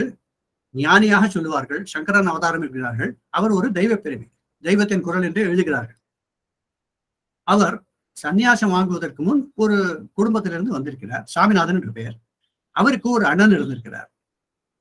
அந்த அண்ணன் இவர் சன்னியாசி ஆகிவிட்டார் சன்னியாசி ஆகிவிட்டு அவர் அண்ணன் இறந்த செய்தி வருகிறது. அதை எப்படி இவர்கிட்ட சொல்ல வேண்டும்? ஆனால் இவருக்கு திரிகால திருஷ்டி இவருக்கு தெரியும். அண்ணன் போய்விட்டார் விஷயம் வருகிறது என்று தெரியும். அந்த கடிதாசை எடுத்துக்கொண்டு அவர்கள் வரும்போது இவர் வெகு தூரம் பின் பக்கம் தோட்ட பக்கம் போய்விட்டாராம். போய்விட்டு பணியாளர்களிடம் கொஞ்சம் தேன் கொண்டு வா என்றார். தேன் கொண்டு வந்து தன் கண்ணில் அவரே தேனை விட்டுக்கொண்டு இப்பொழுது படிப்பா என்ன விஷயம் என்று கேட்கிறார். அவர்கள் படிக்கிறார்கள் உங்களுடைய பூர்வாசிரம அண்ணன் இயற்கை எழுதினார் சரி இது எல்லாம் சரி. அப்பொழுது காரியஸ்தர்கள் கேட்கிறார்களாம் நீங்களும் சன்னியாசி உங்களுக்கு கண்ணீர் வரலாம் ஆனால் தேன் என் போட்டுக் கண் எரியுமே என்றார்கள் அதுக்கு அவர் பெரியவர் சொன்னாராம் சன்னியாசிகளுடைய மனசு கஷ்டப்பட்டு பூமியில் கண்ணீர் உதிர்ந்தால் ஜனங்களுக்கு கஷ்டம் வரும். அதை தவிர்க்க நான் தேன் கொட்டி கொண்டேன் என்றார். அது பாருங்க அதனால ஒரு தெய்வமாக இருந்தாலும் தெய்வம் மானுஷ ரூபமாக இருந்தாலும் அவர்களுக்கும் உணர்வு உண்டு உணர்ச்சி உண்டு. இது காஞ்சி பெரியவரை பற்றி கேட்கிறோம் ரமணரை பற்றி கேட்கிறோம். அஹ், நாலு நாள் முன்ன சிவகுமார் சாரோட பேசினேன். அப்பொழுது அரவிந்தருடைய மனைவி மிருணாலினி இறந்த செய்தி கேட்டு அரவிந்தருக்கும் மனசு கஷ்டப்பட்டதாம். மிருணாளினியின் போட்டோ கீழே விழுந்து ஒடிஞ்சதாம். அவர் தெரிந்து விஷயம் தெரிந்து விட்டது அவருக்கு. அவரும் மனசு கஷ்டப்பட்டாராம். அதனால தெய்வமே மனிதனாக இருந்தாலும் உணர்வுகளுக்கு இடம் உண்டு. இப்ப நாம் ஃபீல் பண்றோம் அது ஹியூமன் லெவல் அவர் வந்து டிவைன் லெவல் அப்படியே அவர்கள் சரியாக இது வந்தது. இந்த மாதிரி கபாலி சாஸ்திரியார் அரவிந்த ஆசிரமத்தை ஜாயின் பண்ணியாச்சு. அவருக்கு என்ன டியூட்டி கொடுக்குறாரு? கேட்ல டியூட்டி கொடுக்குறார் முதல். பாருங்க இது வந்து படிச்ச பெரிய ஞானிங்கிறதுனால அவரை தனியா பெடஸ்டல்ல ஐவரி டவர்ல உட்காத்தி வைக்கல. Body is best prayer is to the divine work work கொடுக்குறாரு. இவர் கபாலி சாஸ்திரியார் ஒர்க் பண்ணிட்டு காத்தால மெடிடேட் மூணு நான் மூணு மணிக்கு எழுந்து மெடிடேஷன் ஒர்க் எல்லாம் பண்ணிட்டு வந்து கேட் டியூட்டி பண்ணிட்டு மதியம் இருபது நிமிஷம் கரெக்டாக ரெஸ்ட் எடுத்துப்பாராம். தூங்க மாட்டார். இருபது நிமிஷம் ரெஸ்ட் எடுத்துட்டு திருப்பி கேட் டியூட்டிக்கு போயிட்டு வரான் அறுபதாவது வயசுக்கு அப்புறம் தான் அவர் எழுத ஆரம்பிக்கிறார். பண்டிட் எழுதுகிறார். அவர் எழுதும் போது நிசப்தமாக இருக்கும். எந்த விதமான ரெஃபரன்ஸ் புக்கும் இல்லை. இப்போ நான் இந்த இந்த உரையாற்றுவதற்கு ரெண்டு மூணு புஸ்தகத்தை பார்த்து தான் எழுதினேன். எனக்கு தெரிஞ்ச விஷயத்தையும் போடுகிறேன். எழுதினத்தையும் பார்த்து எழுதுகிறேன். இது நம்முடைய லெவல் என்னுடைய லெவல் ஆனால் அவர் உட்கார்ந்த போது எந்த விதமான ரெஃபரன்ஸும் இல்லாமல் தன்னுடைய மனசு ஞாபகத்திலிருந்து எழுதுவாராம்.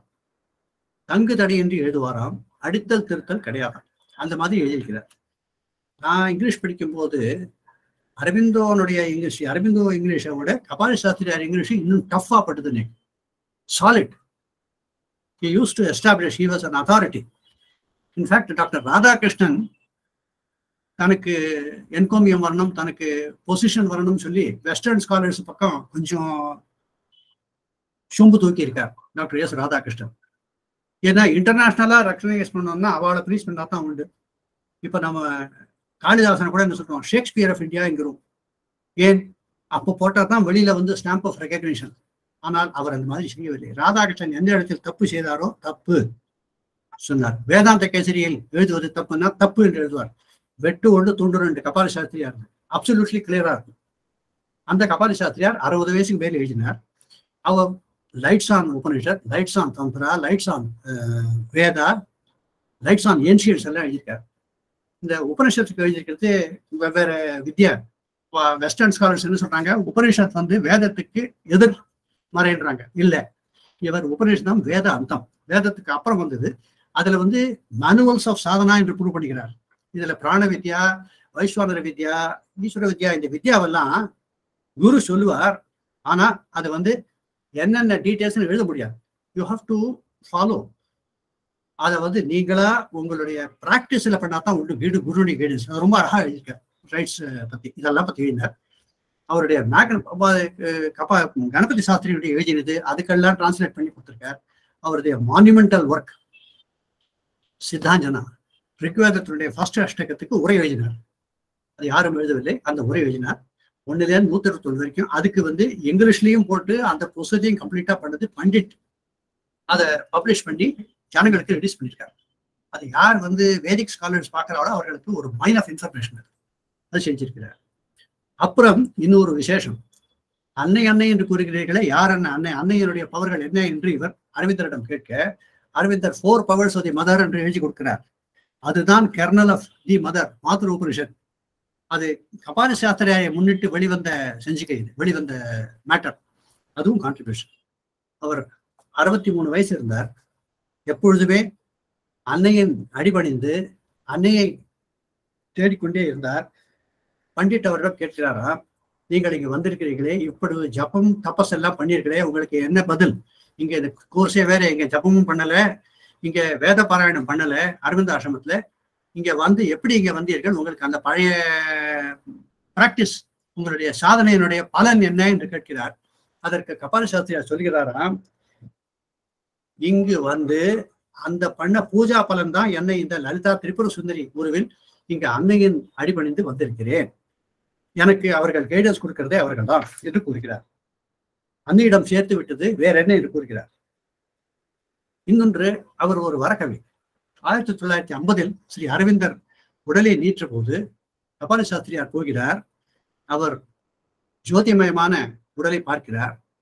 ஸ்பான்டேனியஸாக ஒரு ஏழு செய்யுள்கள் சொல்கிறார். அதை சம்பத்தி சப்தகம் என்று கூறுவார்கள். இப்பொழுது கூட ஆசிரமத்திலும் சீனியர் சாதகர்கள் எல்லாரும் ஸ்ரீ அரவிந்தோவை பற்றி பேசினால் சம்பத்தி சப்தகம் சொல்வார்கள்.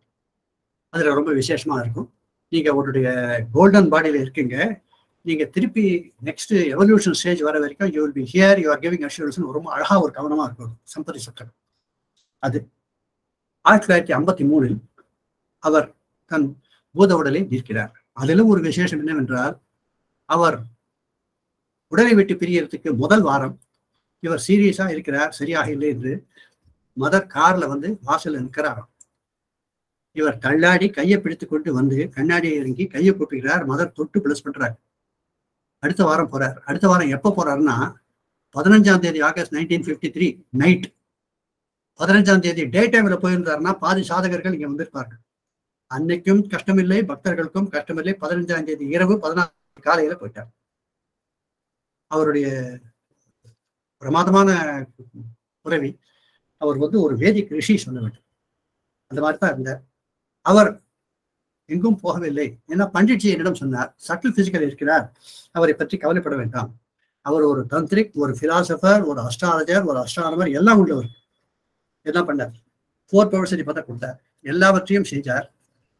அது ஒரு பாசிட்டிவிட்டி இந்த கபாலி சாஸ்திரி இப்ப பண்டிட்டுக்கு வருவோம். கபாலி சாஸ்திரியார் கணபதி சார் அஞ்சு அஞ்சு ஆறு ஒரு அஞ்சு பத்து நிமிஷம் எடுத்துக்கலாமா?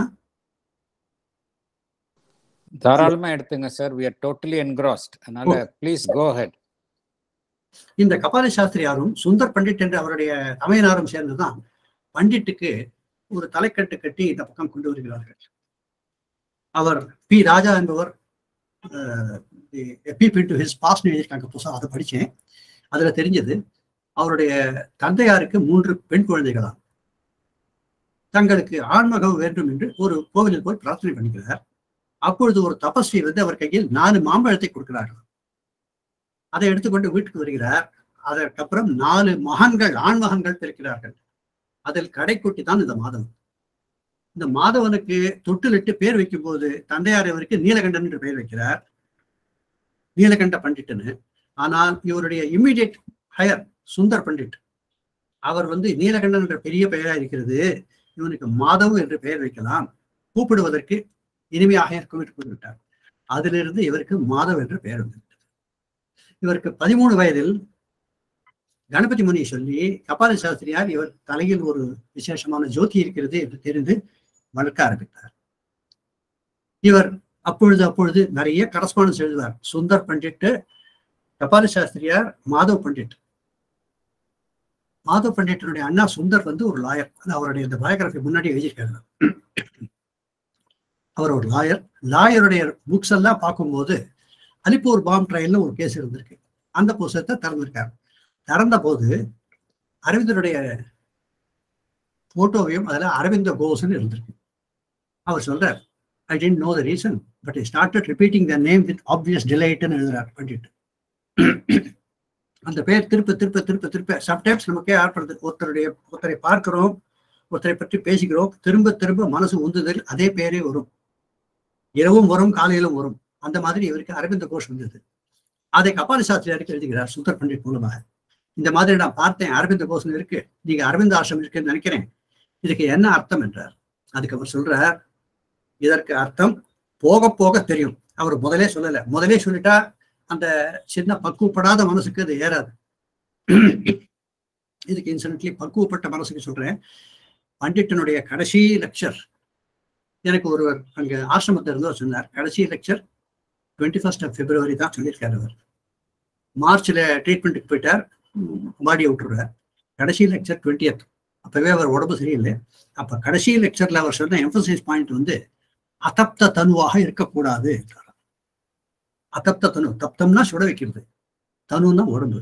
அதப்த தனு அதப்த தனுன்னா அன்பேக்கிடு ஜார் அன்பேக்கிடு ஜாராக இருந்தால் அமிர்தம் வந்தாலும் சரி தண்ணீர் வந்தாலும் சரி பானை விடுபட்டு வரும். அதப்த தனு அதனால எல்லோரும் அக்னி ஆஸ்பிரேஷன்ல தப்த தனு சுண்ட காய்ச்சி மண்பானை எப்படி சரியாக காய்ச்சி சரிப்படுகிறதோ அந்த மாதிரி வைத்துக் கொள்ள வேண்டும். ஆண்டவன் கருணை இறங்குவதற்கு நாம் நம்முடைய பிசிக்கல் ஸ்டேஜரை சரியாக வைத்துக் கொள்ள வேண்டும் என்று கடைசி லெக்சர் சொல்லி முடித்தார்னு கேள்விப்பட்டேன். இன்டர்நேஷனல் கெஸ்ட் ஹவுஸ்ல யார் இன்சார்ஜா இருந்தாரோ அவர் கேட்டேன் என்ன சார் நீங்க கடைசியில் அட்டன் பண்ணீங்களா? அதுக்கு அவர் சொன்னார். அதப்த தொண்ணூத்தாம்பா சொன்னார் கடைசியில. சரி அது போட்டோம் இப்பொழுது அதனால you will know the reason as and when time கம்ஸ்ன்ற மாதிரி சொல்லி விட்டார் கபாலியார் இவருக்கு புரியவில்லை சரி இதெல்லாம் சரி பார்க்கலாம். அப்புறம் அப்புறம் எழுதுவார். இன்னைக்கு காலேஜ் டிபேட்டிங் சொசைட்டில பண்ணேன். இன்னைக்கு அதை பண்ணேன் இதை பண்ணேன்னு எழு- எழுதியிருக்க. அவர் he kept on encouraging O your budding ஆரேட்டர்ன்றார் ஒரு சமயம் சொல்றார் தட் யுவர் uh, ஒரு சார் ஏதோ போட்டு பேர் கூப்பிடுறார். இவருக்கு என்கோமியம் கொடுத்து என்கரேஜ் பண்றார் கபாலி சாஸ்திரியார். அப்புறம் I want to come to ashram and join Kapali சாஸ்திரியாரும் சுந்தரும் சுகமா சொல்றாங்க. உன்னுடைய படிப்பை முடித்துக் கொண்டுதான் போக வேண்டும். அதற்கு முன்றும் இன்னும் செல்லாதே. அப்படியே நான் வந்து பார்க்கணும். மதர் யாரு பார்க்கணும்? ஸ்ரீ யாரு பார்க்கணும் என்கிறார். சரி வா என்கிறார்கள். ஆயிரத்தி தொள்ளாயிரத்தி முப்பத்தி ஏழில் அதாவது இவர் பிறந்தது நைன்டீன் எயிட்டீன் ஆயிரத்தி தொள்ளாயிரத்தி முப்பத்தி ஏழில் ஆகஸ்ட் பதினஞ்சு அன்று பண்டிட் அவர்கள் பாண்டிச்சேரிக்கு போகிறார். பாண்டிச்சேரிக்கு போயிட்டு அப்போது கேட்குறாங்க ஆ ஒரு சின்ன விஷயம் மறந்து போயிட்டேன். இது இந்த புஸ்தகம் இது வச்சுட்டேன் இதை வாண்டட் டு ரீட் இது கபால சாஸ்திரியார் பத்தி. கபால சாஸ்திரியார் கேட்டார் பண்டிட் கேட்டார் நீங்க வந்ததுக்கு என்ன அச்சீவ்மெண்ட் மதர் கிட்ட போனதுனால அச்சீவ்மெண்ட் ஆனார். அது சொல்லியிருக்கார் கபால சாஸ்திரி சொல்லியிருக்கார் the very name Mother has done me a lot which it would be impossible for many births to achieve பல ஜன்மங்களில் அடைய முடியாத இருந்துக்கிறேன் அது சொல்ற கீதையில பகுநாம் ஜன்மநாம் அந்தரே. பழைய ஜன்மங்களுக்கு பழைய ஜன்மங்களுக்கு அப்புறம் வருகிறதுனா இந்த ஜென்மத்தில் இருக்க fusion I have known of no yoga which lifts in a trice the human creature ஒரு சிமிட்டியில வந்து ஒரு ட்ரைஸ் ஹியூமன் creature மயர் சாக்கடையில இருந்து higher attitudes of divine I have known of no yoga which lifts in a trice the human creature from the mire to higher altitudes of divine Mother சொல்றார் I have only one thought and that is the Mother இது வந்து கபால சாஸ்திரியார். Sorry அதை கபால சாஸ்திரியார் பத்தி பேசும்போது இதை மறந்து போயிடுச்சு சொல்றதுக்கு. இது கபால சாஸ்திரியார். அந்த புஸ்தகம் அங்க வந்தது. அது சொல்லணும்னு வச்சே மறந்து போயிடுச்சு. இப்பொழுது பண்டிட் ஆயிரத்தி தொள்ளாயிரத்தி முப்பத்தி ஏழு வருகிறார். முப்பத்தி ஏழு வந்து ஸ்ரீ அரவிந்தரை தரிசனம் பண்ணுகிறார் ஆகஸ்ட் பதினஞ்சு. அவரை பார்த்த போது எழுதுகிறார் டெய்லியில. It is only comparable thing is Himalayas like Himalayas அது வந்து ஒரு அளவிட முடியாத அற்புதமான காட்சி அற்புதமான உன்னதமான சுரூபம் ஹிமாலயாஸ் மாதிரி சொல்ல முடியாது. இப்ப ஹிமாலயாஸ் சொல்லும்போது ரெண்டு தான். மூணு தான் சொல்லுவாங்க. The Himalayas the Punjab the Hague. மிச்சம் எல்லாத்துக்கும் தி கிடையாது. ஏன்னா அது யூனிக் அதை போல இன்னொன்னு கிடையாது. The Hague capital the Punjab போடுவாங்க. அதே மாதிரி தி ஹிமாலயாஸ். இந்த தீன்னு போட்டா அது ஒண்ணுதான். அந்த ஹிமாலயாஸ் மாதிரி இருக்காருன்றார் பண்டிட்டு. சரி மதரை பார்த்தார் மதரை பார்த்த போது என்ன சொல்றார்? மதர் கபாலிட்ட சொல்றார். ஹீஸ் அ நைஸ் பாய் என்கிறார். ஆனால் பண்டிட் என்ன எழுதுகிறார் தெரியுமா? அவருடைய ஓன் வார்த்தைகள்ல O the marvel of the moment. இந்த க்ஷணத்தின் அற்புதமான காட்சியே ஹிஸ் சோல் தன்னை பற்றி சொல்றார். His soul burst out of its present bars. ஜெயிலாக காராகிரகமாக இருக்கப்பட்ட தன்னுடைய பாடியை உடைத்துக் கொண்டு his soul burst out of its prison bars in a flood of tears. அன்னையை பார்த்து கண் கண்ணீர். ஆனந்த கண்ணீர் ஆத்மார்த்தமான சைக்கிக் ரியலைசேஷன் கண்ணீர்.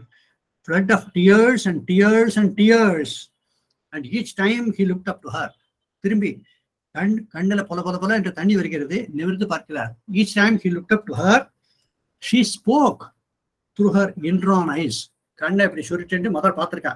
She spoke through her indrawn eyes in the only language she has spoken ever after the language of love அன்னை அன்பை தான் கூட்டுகிறார். அன்பை கண்ணை திறந்து இன்ட்ரானேஷன் சரி எனக்கோ கண்ணுல தண்ணி வந்துட்டு இருக்கு சொல்ல முடியல விவரிக்க முடியல. ஆனால் அன்னையாகப்பட்டவர் ஆத்மார்த்தமாக அந்த குழந்தையை தொட்டு ஆசீர்வாதம் பண்ணி அன்னை அன்னை வந்து லவ் கொடுத்திருக்கிறார். இதுதான் சாவித்திரி கடைசி எப்பிலோகில் வருது so love is the only solution is the only thing I நோன்றா Mother. சாவித்திரியில் வருது கடைசியில். அது எக்ஸாக்ட் வேர்ட்ஸ் ஞாபகம் வரல. லவ்னு வருது. சரி தேர் ஆஃப்டர் நைன்டீன் தேர்ட்டி நைன்ல யூனிவர்சிட்டி ஆஃப் பாம்பேல பிகாம் ஃபர்ஸ்ட் கிளாஸ் ஃபர்ஸ்ட் வந்துடுறார் டிஸ்டிங்ஷன் இன் லா பாஸ் பண்ணிடுறார். இப்பொழுது அண்ணாவிடம் சேர்ந்து லா போகிறதா வேண்டாமா? அந்த கொஸ்டின் வரும்போது ஃபேமாக இவர் சொல்கிறார் நான் அரவிந்தரிடம் போய் சரணாகதி அடைவேன். அன்னையிடம் என்று கொடுக்கிறார் ஆயிரத்தி தொள்ளாயிரத்தி முப்பத்தி ஒன்பது ஒரு ஃபேமிலியும் அப்ஜெக்ட் பண்ணல. ஏன்னா அவருடைய ஃபேமிலி பீப்புள் எல்லாருமே கபாலி சாஸ்திரியார் மூலமா இங்க வந்துட்டார். இவருடைய அன்னை இவர் தந்தை இறந்து விட்டார். இவருடைய அன்னை இவருடைய சகோதரிகள் எல்லோரும் அரவிந்த ஆசிரமத்துக்கே வந்து விட்டார்கள். கபாலி சாஸ்திரியார் சொல்படி.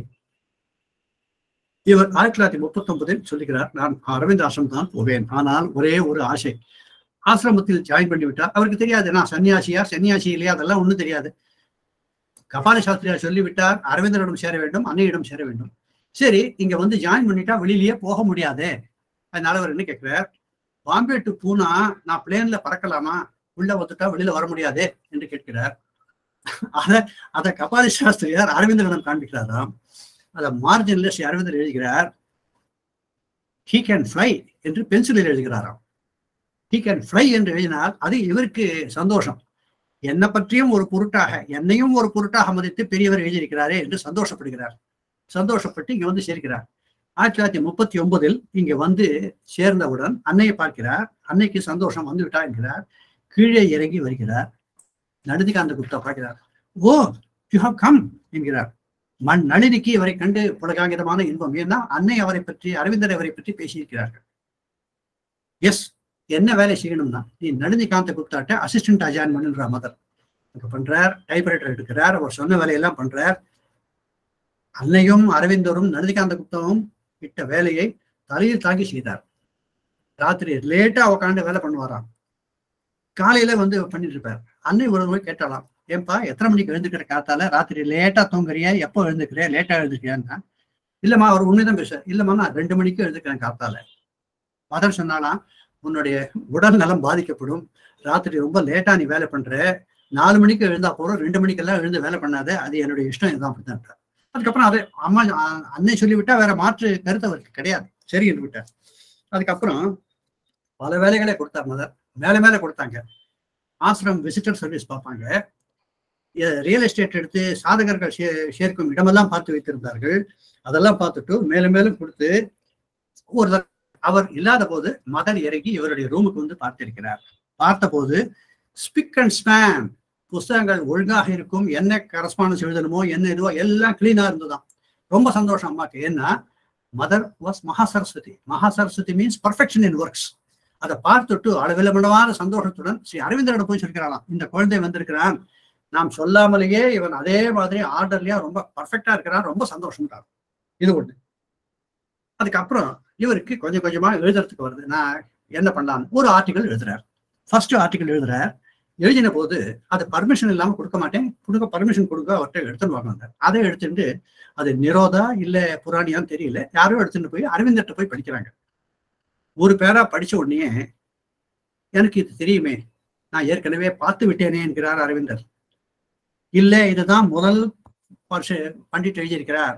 மாதவ முதல் வார்த்தை. இதை பாருங்கள் என்றார். எனக்கு எல்லாம் தெரியும் என்று சொல்லிவிட்டார். இது சொன்னா இது ரமண மகர்ஷி கணபதி சாஸ்திரி சொன்னாரே have you taken down what all I said அந்த மாதிரி ஸ்ரீ அரவிந்தர் இவருடைய மனதிலிருந்து இவருடைய கைப்பட அந்த வார்த்தைகளை எழுதிவிட்டார். அப்பொழுதே அது முதல் ஆர்டிகல். அதனாலதான் பிள்ளையார் சுழி அவர் போட்டதுனால்தான் இது வரைக்கும் ஆசிரம சாதக்ஸ்ல மேக்சிமம் நம்பர் புக்ஸ் எழுதினது பண்டிட் தான்.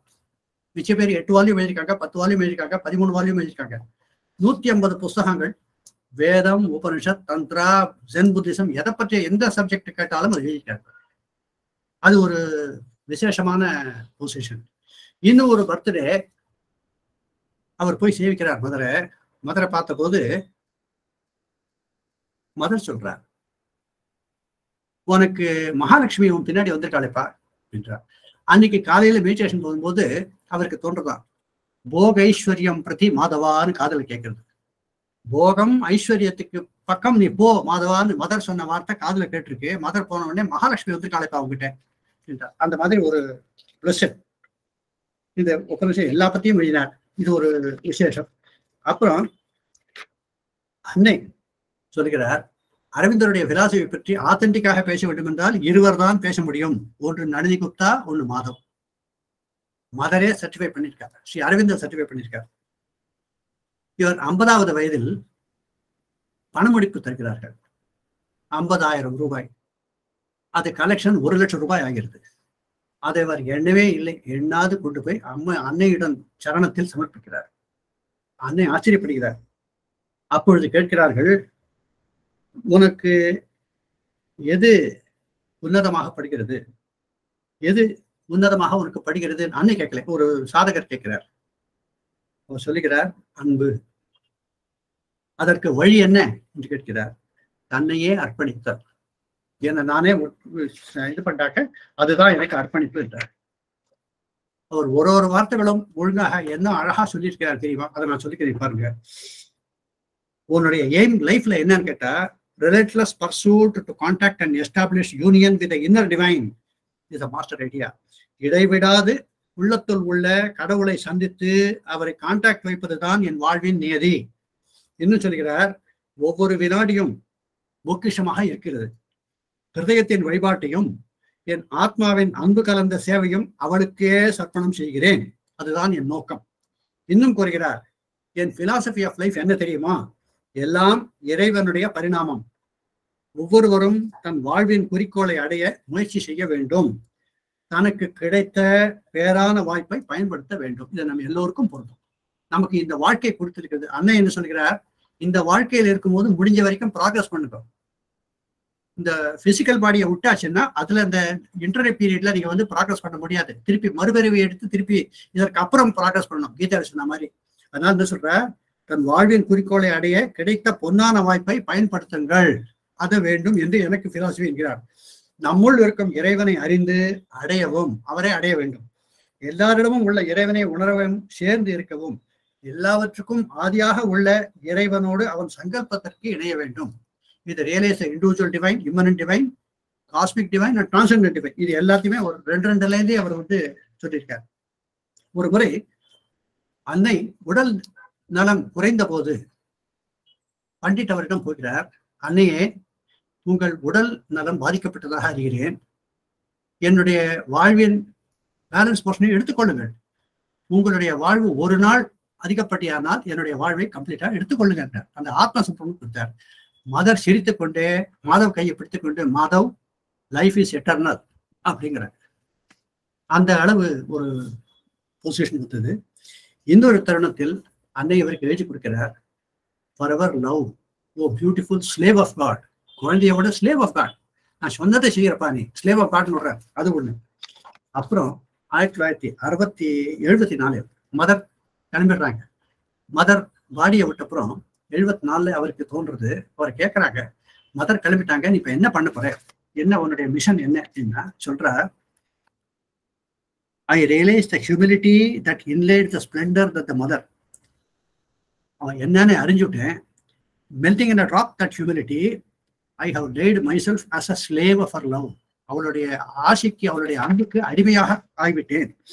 I have laid myself as a slave with no other aim in life except to serve her and those who love her that means I want to serve her and serve those who love her அன்னையிடம் யார் யார் அன்புடன் இருக்கிறார்களோ அவர்களுக்கு நான் சேவை செய்வேன். அன்னைக்கு சேவை செய்கிறார் இந்த வார்த்தைகள் ரொம்ப அருமை. When I do not physically work for her அவளுக்காக நான் வந்து பிசிக்கலாக வேலை பண்ணலன்னா அவள் சிந்தனையில் ஆழ்வேன். I think of her when I do not think of her I speak of her அவளை பற்றி பேசுவேன். யோசனை பண்ணலன்னா பேசுவேன் when I don't speak of her I feel her and I am lost in her அவளை நான் அறிந்து அவள் சாநித்தியத்தில் உணர்ந்து அவளில் ஆழ்ந்து விடுகிறேன் கூறுகிறார். இப்படி விதவிதமான ரெசல்யூஷன்ல பண்ணிட்டு பண்ணியிருக்கார் இது ஒரு விசேஷம். இது அவரை பற்றி சொல்லி இன்னும் அஞ்சு இருபதா இருக்கு சார். இன்னொரு அஞ்சு நிமிஷம் கொடுக்கலாமா? என்னுடைய எக்ஸ்பீரியன்ஸை பத்தி சொல்றதுக்கு இல்ல அஞ்சரைக்கு க்ளோஸ் பண்ணி சொல்லுங்க sorry sure sir sure sir please go முழுமையாக அவரை அறியாமல் அவரை எழுபத்தொன்னு எழுபத்தி ரெண்டில் பார்த்திருக்கிறேன். அப்புறம் டெல்லி சென்று விட்டேன். அவருடைய எப்பேற்பட்ட பெரிய மகான் என்று தெரியாமல் அவரிடம் நிறைய விஷயங்கள் நாம் சாமர்த்தமாக பேசுவதாக அவரோட பேசியிருக்கிறேன். ஆனால் அவர் எந்த விதமான முகச்சுழிவும் இல்லாமல் இனிமையாக பேசியிருக்கிறார். அவரிடம் லங்கா அஃபேர்ஸை பற்றி பேசியிருக்கிறேன். பஞ்சாப் பாலிடிக்ஸை பற்றி பேசியிருக்கிறேன். கோர்ட் கேசஸ்கள் பற்றி பேசியிருக்கிறேன். ஜோக்ஸ் எல்லாம் எடுத்திருக்கிறேன் அவரிடம்.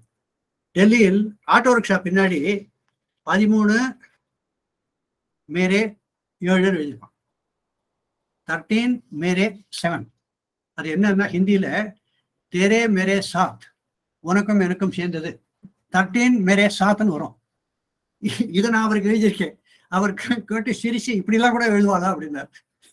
அது எனக்கு அவருடைய பத்தி அருமை அப்ப தெரியல. இதெல்லாம் எழுதியிருக்கேன். பஞ்சாபை பத்தி பேசின போது கேட்டேன். அப்ப V P Singh prime minister ஆயிட்டார்.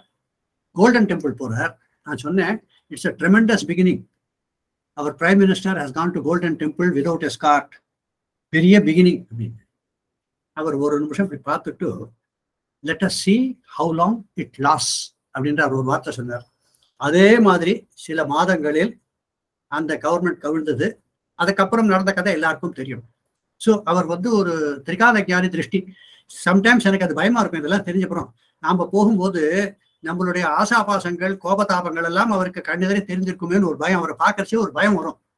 அவர் என்ன பண்ணுவார் இப்படி ஒரு மாதிரி கொஞ்சம் ஸ்பின் டைம் உண்டு அவருக்கு. ஒரு ஒன்றரை கண்ணு சொல்லுவா ஒன்றரை கண்ணு கூட இல்லை ஒரு அழகா இருக்கும்.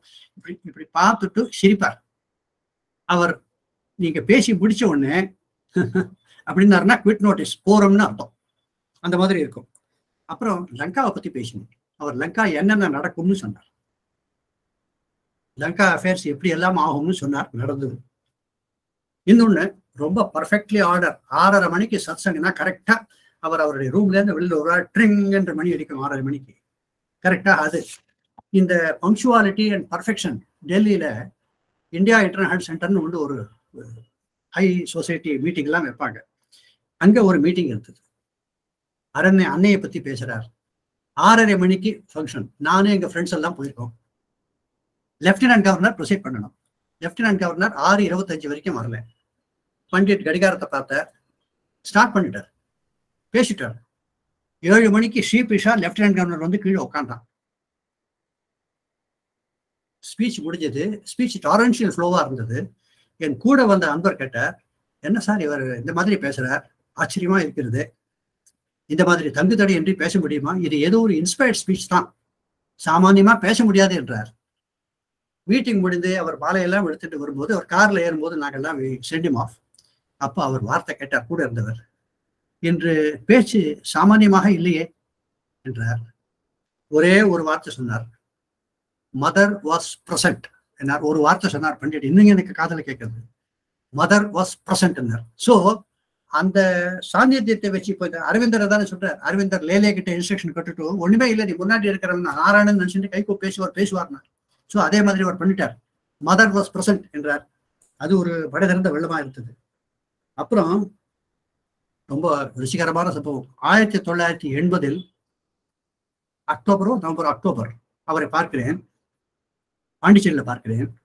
அவர் சொல்கிறார் Srinivasan the publication division wanted me to write biography of Sri Aurobindo in builders of modern India series R R Diwakar இசை குரூப் எடிட்டர் என்னை சொல்லியிருக்காங்க எழுதியிருக்காங்க.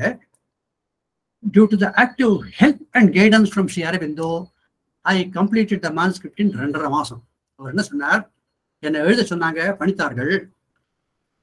ஆக்டிவ் ஹெல்ப் உதவி active help and active guidance from Sri Aurobindo ரெண்டரை மாசத்துல manuscript எழுதினேன் இதை நான் டெல்லிக்கு அனுப்புகிறேன் நீ டெல்லியில் இருக்கிறாய் முடிந்தால் இதை ஃபாலோ அப் பண்ணி பப்ளிஷ் பண்றதுக்கு ஹெல்ப் பண்ணு அப்படின்னாரு எனக்கு பப்ளிகேஷன் டிவிஷன் கான்டாக்ட் கிடையல இது என்ன நம்மையும் ஒரு பொருட்டா நினைச்சு அவர் சொல்றாரு சரி பார்ப்போம் சொல்லிட்டு அங்க பப்ளிகேஷன் டிவிஷன்ல டேரக்டர் போய் பார்த்தேன் அவர் ரிட்டையர் ஆயிட்டார் அவருடைய சக்சஸர் இருந்தார் அவர்கிட்ட சொன்னேன் அவர் பார்க்கறேன்றார் அதுக்கப்புறம் இந்த மேனுஸ்கிரிப்ட் எடிட்டர்ஸ் கொடுத்தா மூணு எடிட்டர் மாறினாங்க நான் பார்க்க மாட்டேன் நான் பார்க்க மாட்டேன்னு போச்சு. இது வந்து அரவிந்தோவே பார்த்த மேனுஸ்கிரிப்ட் அப்படின்னு எனக்கு ஒரு உள்ளூர நமச்சர் என்னடா அது இப்படி நடந்துட்டு அப்புறம் கடைசியில ஒரு சர்தார்ஜி எடிட்டர் வந்தார்.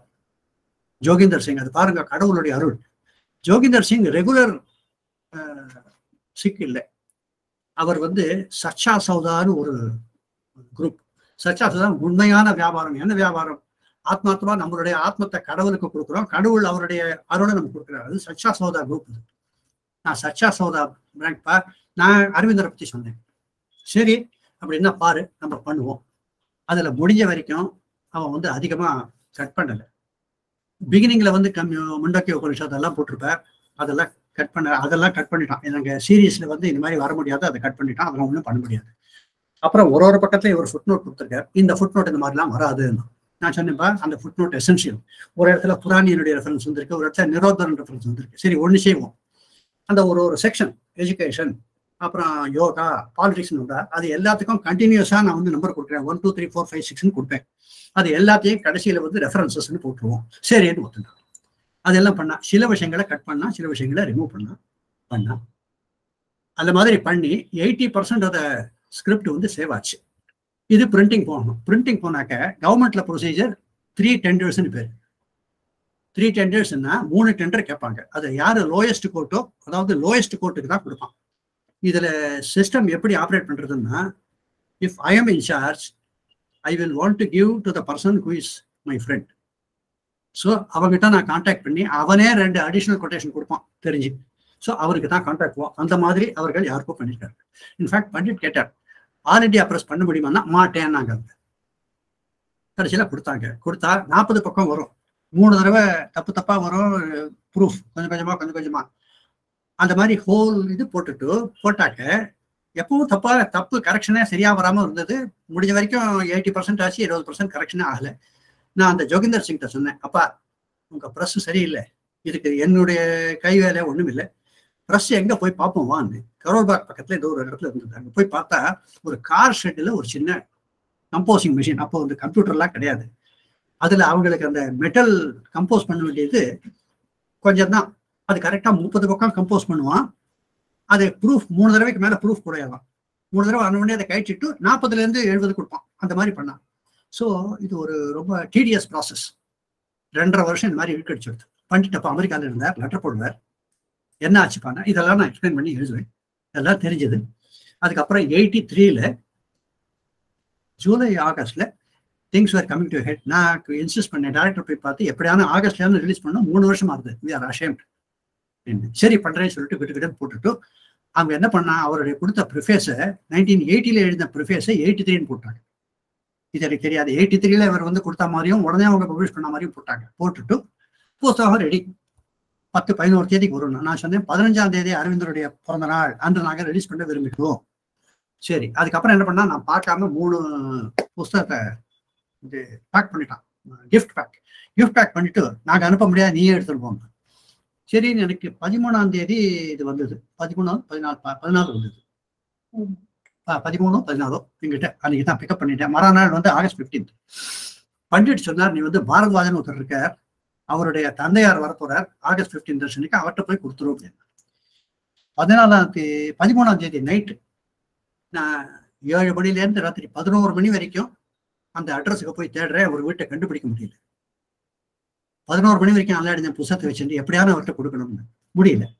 திருப்பி வந்துட்டேன் மனசு ஒடிஞ்சு போயிடுச்சு. என்னடா இது கடைசியில அவர்கிட்ட கமிட் பண்ணிட்டு அனுப்ப முடியலையே அப்புறம் அட்ரஸ் புக் எடுத்து பார்த்தா Greater Kailash one Greater Kailash டூன்னு கன்ஃபியூஷன் என்னுடைய தவறு பார்க்காம போனோம் சரி மறுநாள் தானே அவர் தந்தை போறான்னு சொல்லி கத்தா நாலரை மணிக்கு எழுந்து அவசர அவசரமா போய் ஆறு மணிக்கு அவருக்கு வீட்டுக்கு போறேன். மாடியில பாரத்வாஜ் இருக்கார். இந்த புஸ்தகத்தை கொடுக்க வந்தேன் பாபுஜி தொட்டு சலேகே அப்படின்றாரு பாபுஜி கிளம்பி போயாச்சுன்ற ஆறு மணி பிள்ளைகிட்ட பிடிச்ச போயிட்டார் அப்பா. சார் என்ன உள்ள விடுங்கோ வந்து சொல்லணும் உள்ள விட்டேன். உள்ள போயிட்டு இந்த மாதிரி வருது அரவிந்தோனுடைய பயோகிராஃபி இது அவர் இன்ஸ்பயர் பண்ணி எழுதினதுன்னு பாரத்வாஜ் ஒரு பட்டர் அவர் இப்படி கடல இப்படி ஒத்திண்டார் ஒத்திண்டு என் ரெஸ்பான்சிபிலிட்டி நான் அனுப்புறேன். யாரையானு பிடிச்சு அனுப்புறேன்னார் பதினாலாம் தேதி யாரோ மெட்ராஸ் போறவங்கள்ட்ட அந்த மூணு புஸ்தகத்தை கொடுத்து இதை பாண்டிச்சேரியில பண்டிட்டு கிட்ட கொடுத்துருவாங்க. மெட்ராஸ்ல இவருடைய ஃப்ரெண்டு கோட்டீஸ்வரன் ஒருத்தரை பிக்கப் பண்ண சொன்னார். யாரோ ஒரு பேசஞ்சர் அந்த மூணு பூசத்தை எடுத்துட்டு மெட்ராஸ் ஏர்போர்ட்ல கோட்டேஸ்வரன் கையில் கொடுத்து கோட்டேஸ்வரன் மறுநாள் காலையில ஏழு மணிக்கு கிளம்பி பாண்டிச்சேரிக்கு போறார். பண்டிட் கொடுக்கறதுக்கு வழியில வண்டி பிரேக் டவுன் பன்னெண்டு ஒரு மணி வரைக்கும் போக முடியல. மூணு மணிக்கு தான் பண்டிட்டுக்கு போய் சேர்றதுக்கு கோசம் பண்டிட் உடனே ஹரிடா 15th ஆகஸ்ட்டை மிஸ் பண்ணக்கூடாதுன்னு சொல்லி தன் வீட்டில் அஞ்சு மணிக்கு புதுசாக ரிலீஸ் பண்ணுறாரு இந்த விஷயம் எனக்கு தெரியாது. இதுக்கப்புறம் எனக்கு அவர் எழுதினார் ஸ்ரீனிவாசன் ஆல் திஸ் ஹேப்பன்னு எழுதிட்டு நான் சொன்னேன் என்னுடைய பாட்டுக்கும் நான் தப்பு பண்ணியிருக்கேன். சில மிஸ்டேக்ஸ் ஆயிடுது. அதுக்கப்புறம் வீணர் these were anti divine forces which wanted to prevent அப்படின்னார். அதை படிச்சுட்டு அப்புறம் கடைசியில என்னடா இந்த மாதிரி ஆயிடுதுன்னு பார்த்தா பெரிய பெரிய மிஸ்டேக்ஸ் இருக்கு ஹவுலர்ஸ் இருக்கு. Sri Aurobindo arrived in Apollo வந்து என் nineteen eighty three eighteen ninety த்ரீல நைன்டீன் எயிட்டி த்ரீ அந்த மாதிரிலாம் பிரிண்ட் வந்திருக்கு. அவர் பாவம் அதெல்லாம் பொருட்படுத்தாமல் ஸ்ரீனிவாசன் இட்ஸ் அ குட் ஜாப்னார் வார்த்தை. எனக்கு ரொம்ப அவமானமாகவே இருந்தது. சரி அப்போ தோணித்து இப்போ அரவிந்தர் இவ்வளவு ஆசைப்பட்டு இன்ஸ்பயர் பண்ணி கொடுத்துருக்காரு இந்த புஸ்தகத்துக்கு முழு வடிவு வராதா இதுக்கு விடிவு காலம் வராதான்னு மனசுல யோசனை பண்ணிட்டே இருந்தேன் விட்டு போச்சு. ஒன்றரை வருஷம் முன்னாடி இருபத்தி ஒன்று ரெண்டுல நான் ஸ்ரத்தாலுக்கு லெட்டர் எழுதி இந்த மாதிரி அவர் முன்னாடி சொன்னார் ஸ்ரத்தாலு இப்போ குழந்தை அவருக்கு தெரியாது. இந்த மாதிரி நடந்தது. இது பாண்டிச்சேரி போயிட்டு இந்த மாதிரி நடந்தது. எப்படியாலும் hundred fiftieth birthday of Sri அரவிந்தோக்கு அந்த சமயத்துல ஆகஸ்ட்லயோ அதுக்கு முந்தையோ நம்ம ரிலீஸ் பண்ணா உச்சிதமா இருக்கும். பார்க்கலாம் பார்க்கறேன் என்றார். அது என்ன விசேஷம் என்றால் ஒரு புஸ்தகம் பப்ளிஷ் ஆனா மேன்ஸ்கிரிப்டை பண்ணிட்டு வச்சுக்கவே மாட்டாராம். இந்த புஸ்தகத்துக்கு மாத்திரம் மேனுஸ்கிரிப்ட் இருந்தது முழுசா. அவர் எது பப்ளிகேஷன் டிவிஷன் காமிச்சாரோ அந்த மேனுஸ்கிரிப்ட் இருந்தது. அதை எடுத்துன்னு வந்து அதுக்கப்புறம் இப்போ இந்த இன்டிமேட் பயோகிராஃபி ஆஃப் ஸ்ரீ அரவிந்தோன்னு பப்ளிஷ் ஆயிருக்கு. அவர் we released on June fourteen Pandit ji's birthday அது எனக்கு தோரித்து நைன்டீன் டுவெண்ட்டீஸில் மதர் இந்தியா இஸ் ஃப்ரீ அப்படிங்கிறார் it took another twenty twenty five years for think to fruition அந்த மாதிரி ஸ்ரீ அரவிந்தோ இன்ஸ்பயர் பண்ணி நைன்டீன் எயிட்டியில் பட்டது. It took forty two years to see the light of the day in full form என்னடா இதுன்னு அப்போ பதில் வந்தது. Nineteen fifty four mother's message no human will can finally prevail against the divine's will.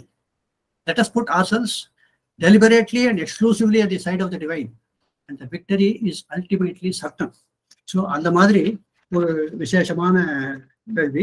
இந்த கேள்விக்கு இன்னும் ஒரு ஒரு விஷயம் சொல்லிட்டு நான் பண்றேன். அவருடைய மகிமை அதிகமா தெரியல. டுவர்ட்ஸ் தி லாஸ்ட் பீரியட் நான் அவரை லாஸ்ட் மீட் பண்றதுக்கு முன்னோட ஒரு வார்த்தை கேட்டேன். நீங்க you have written for posterity Kapali சாஸ்திரியார் சொன்னபடி நீங்க சொன்ன எழுத்துக்கள் அப்படியே இருக்கும். அப்போ சொன்னார் Srinivasan I have written what all I have to write I won't write any more எனக்கு அப்போ அவர் குவிட் நோட்டீஸ் கொடுக்கறாரு அறியவில்லை. அப்புறம் ஒரு வார்த்தை கேட்டேன். ஒரு விஷயம் சொல்லுங்கள். விவேகானந்தர் எப்படி ராமகிருஷ்ணருக்கும் சாரதாமாக்கும் கூடவே வந்து துணையா இருந்தாரோ அந்த மாதிரி நீங்கள் அந்த இன்ஸ்பிரேஷன்ல மதரன் ஸ்ரீ அரவிந்தோவுக்கு நீங்க ஒரு கருவியா அவர்களுடைய ஆளா என்று கேட்டேன். எனவே எனக்கு தோணித்து கேட்டேன். அவர் சிரிச்சுன்னு சொன்னார் தபாரி சாஸ்திரியார் told me long back that Vivekananda will come to me. Now he is in me அப்படின்னா நான் வண்டியில் டிராவல் பண்ணிச்சு. தூக்கி போட்டு நம்ம அருமை தெரியாம இவரோட பழகிருக்குமே அதான் அப்ப சொல்லி திருப்பாவையில சொல்லுவார் உன் அருமை தெரியாம சிறு பேர் அழைத்தனவும் சீரி அருளாதே. சிறு பேர் உன்னை சிறு பேர் அழைத்து நீ ஈக்குவல்னு ட்ரீட் பண்ணி சாமானியப்பட்டவனு ட்ரீட் பண்ணிருக்கேன் தெரியல. அதுதான் எத்தனோ மகானுபாவலும் நம்ம கிட்ட வந்து நம்ம சமகாலத்துல எத்தனையோ மகானுபாவர்கள் இருக்கிறார்கள். நமக்கு அகக்கண் திறந்தால் ஒழிய நமக்கு தெரியாது. ஆனால் அகக்கண் திறப்பதும் எப்பொழுது கடவுள் நினைக்கிறாரோ அப்பதான் நடக்கும். சோ இந்த கேள்விக்கு சொல்லிட்டார் இது இன்னும் ஒரு விஷயம். எப்படி இனிஷியேஷன் அவர் கேட்டேன் இந்த மதர் ஸ்ரீ போயிட்டாங்களே எப்படி இனிஷியேஷன் அதற்கு அதுக்கு அவர் பதிலே எழுதியிருக்காரா. சர்வீஸ் லெட்டரே வந்திருக்கு இந்த யோகத்துல இனிஷியேஷனுக்கு நீங்க if you accept the mother mother accepts you இன்னொன்னு மௌன தீட்சை. கபால சாஸ்திரியத்துல வீட்சையா ததத்தே தீக்ஷாம் அவருடைய கண் பார்வையினாலேயே உங்களுக்கு தீட்சை கொடுக்கிறார். சர்வீஸ் லெட்டர்ல இருக்கு. அதற்கு பதில் மோனா சர்க்கார் புஸ்தகத்துல மதருடைய டிஃபரெண்ட் போட்டோஸை பார்த்து கேட்கிறார். இதுல இருந்து வருமான இதுல என்னுடைய கான்சியஸ்னஸ் இருக்கு கான்சென்ட்ரேட் பண்ணி உனக்கு கிரேஸ் கிடைக்கும்ன்றார் ஸோ அந்த கிரேஸை ப்ரே பண்ணி இந்த சத்சங்கத்தை நிறைவு பெறுவோம். ஸ்ரீ மதர் ஸ்ரீ அரவிந்தோ கபால சாஸ்திரியார் பண்டிட் நம் எல்லோருக்கும் கிரேஸ் ப்ரொடெக்ஷன் பிளெஸிங்ஸ் கொடுக்கட்டும். ரொம்ப கடுமைப்பட்டிருக்கேன். சிவகுமாருக்கும் இங்க இருக்கிற அன்பர்கள் பெரியவர்கள் எல்லோருக்கும் வணக்கம். நான் ஏதாவது தவறாக பேசியிருந்தால் பொருள் பொருள் பொருள் தவறோ சொற்குற்றமோ இருந்தால் மன்னிக்கவும். ஆனால் இதை செய்தது எல்லாம் அன்னையருடைய திருவடியில் சமர்ப்பணம். வணக்கம். சார் எக்ஸலண்ட் எப்படி ஒரு பேட்ஸ்மேன் வந்து மேடன் அப்பியரன்ஸ்லேயே டபுள் செஞ்சுரி ஸ்கோர் பண்ணுற மாதிரி உங்களுடைய ஸ்பீச் இருந்தது? ஐ திங்க் நீங்க ரொம்ப உங்களை பத்தி ரொம்ப அண்டர் ரேட் பண்ணிட்டீங்கன்னு நினைக்கிறேன். The the way you hesitated to give a speech I think because of your humility you unduly oh underrated yourself இந்த I think you spoke almost for one hour and thirty five minutes இந்த one hour thirty five minutes வந்து எங்களுக்கு நேரம் போனதே தெரியல. Fully fact with information அதுவும் ஒரு valuable information அப்படியே மனசில் அசைவோடக்கூடிய ஒரு நிறைய தகவல்களை எங்களுக்கு சொன்னீங்க. ரொம்ப நல்லா இருந்தது ரொம்ப இன்ட்ரெஸ்டிங்காக இருந்தது ரொம்ப என்க்ராசிங்காக இருந்தது. உங்களுடைய பர்சனலாக நீங்கள் உங்களுடைய அசோசியேஷன் அந்த lineage from வாசிஷ்ட Ganapati Muni Kapali Sastriyar M P Sri M P Pandit then இந்த சைடில் பார்த்தோம் அப்படின்னா ரமண மகரிஷி ஸ்ரீ அரபிந்தோ அந்த மதர். இந்த லீனியேஜ் எப்படி வந்தது? அப்புறம் அந்த ஸ்ரீ எம்பி பண்டிட்டோடைய உங்களோட அசோசியேஷன் எப்படி போச்சு?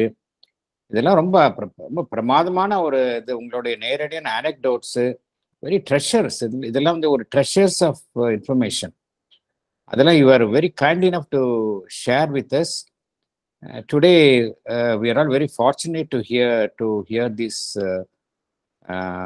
really the gems from you on because of of Sri Aurobindo society உங்களை தேங்க் பண்ணுறோம் ரொம்ப அருமையாக இருந்தது உங்களுடைய speech excellent thank you so I my hmm our humble request is that we look forward to many more lectures.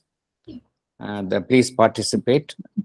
I really thank the mother and Shiorabindo uh, for having uh, arranged this event.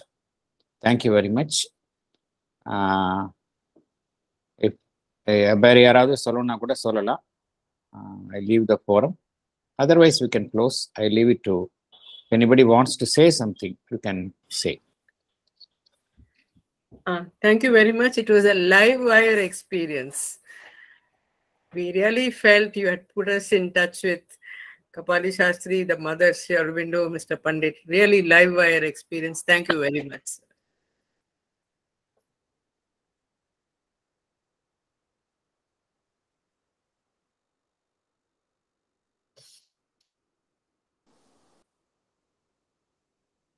Thank you. Thank you. We can uh, uh, close the session with a, a meditation music, with a prayer music.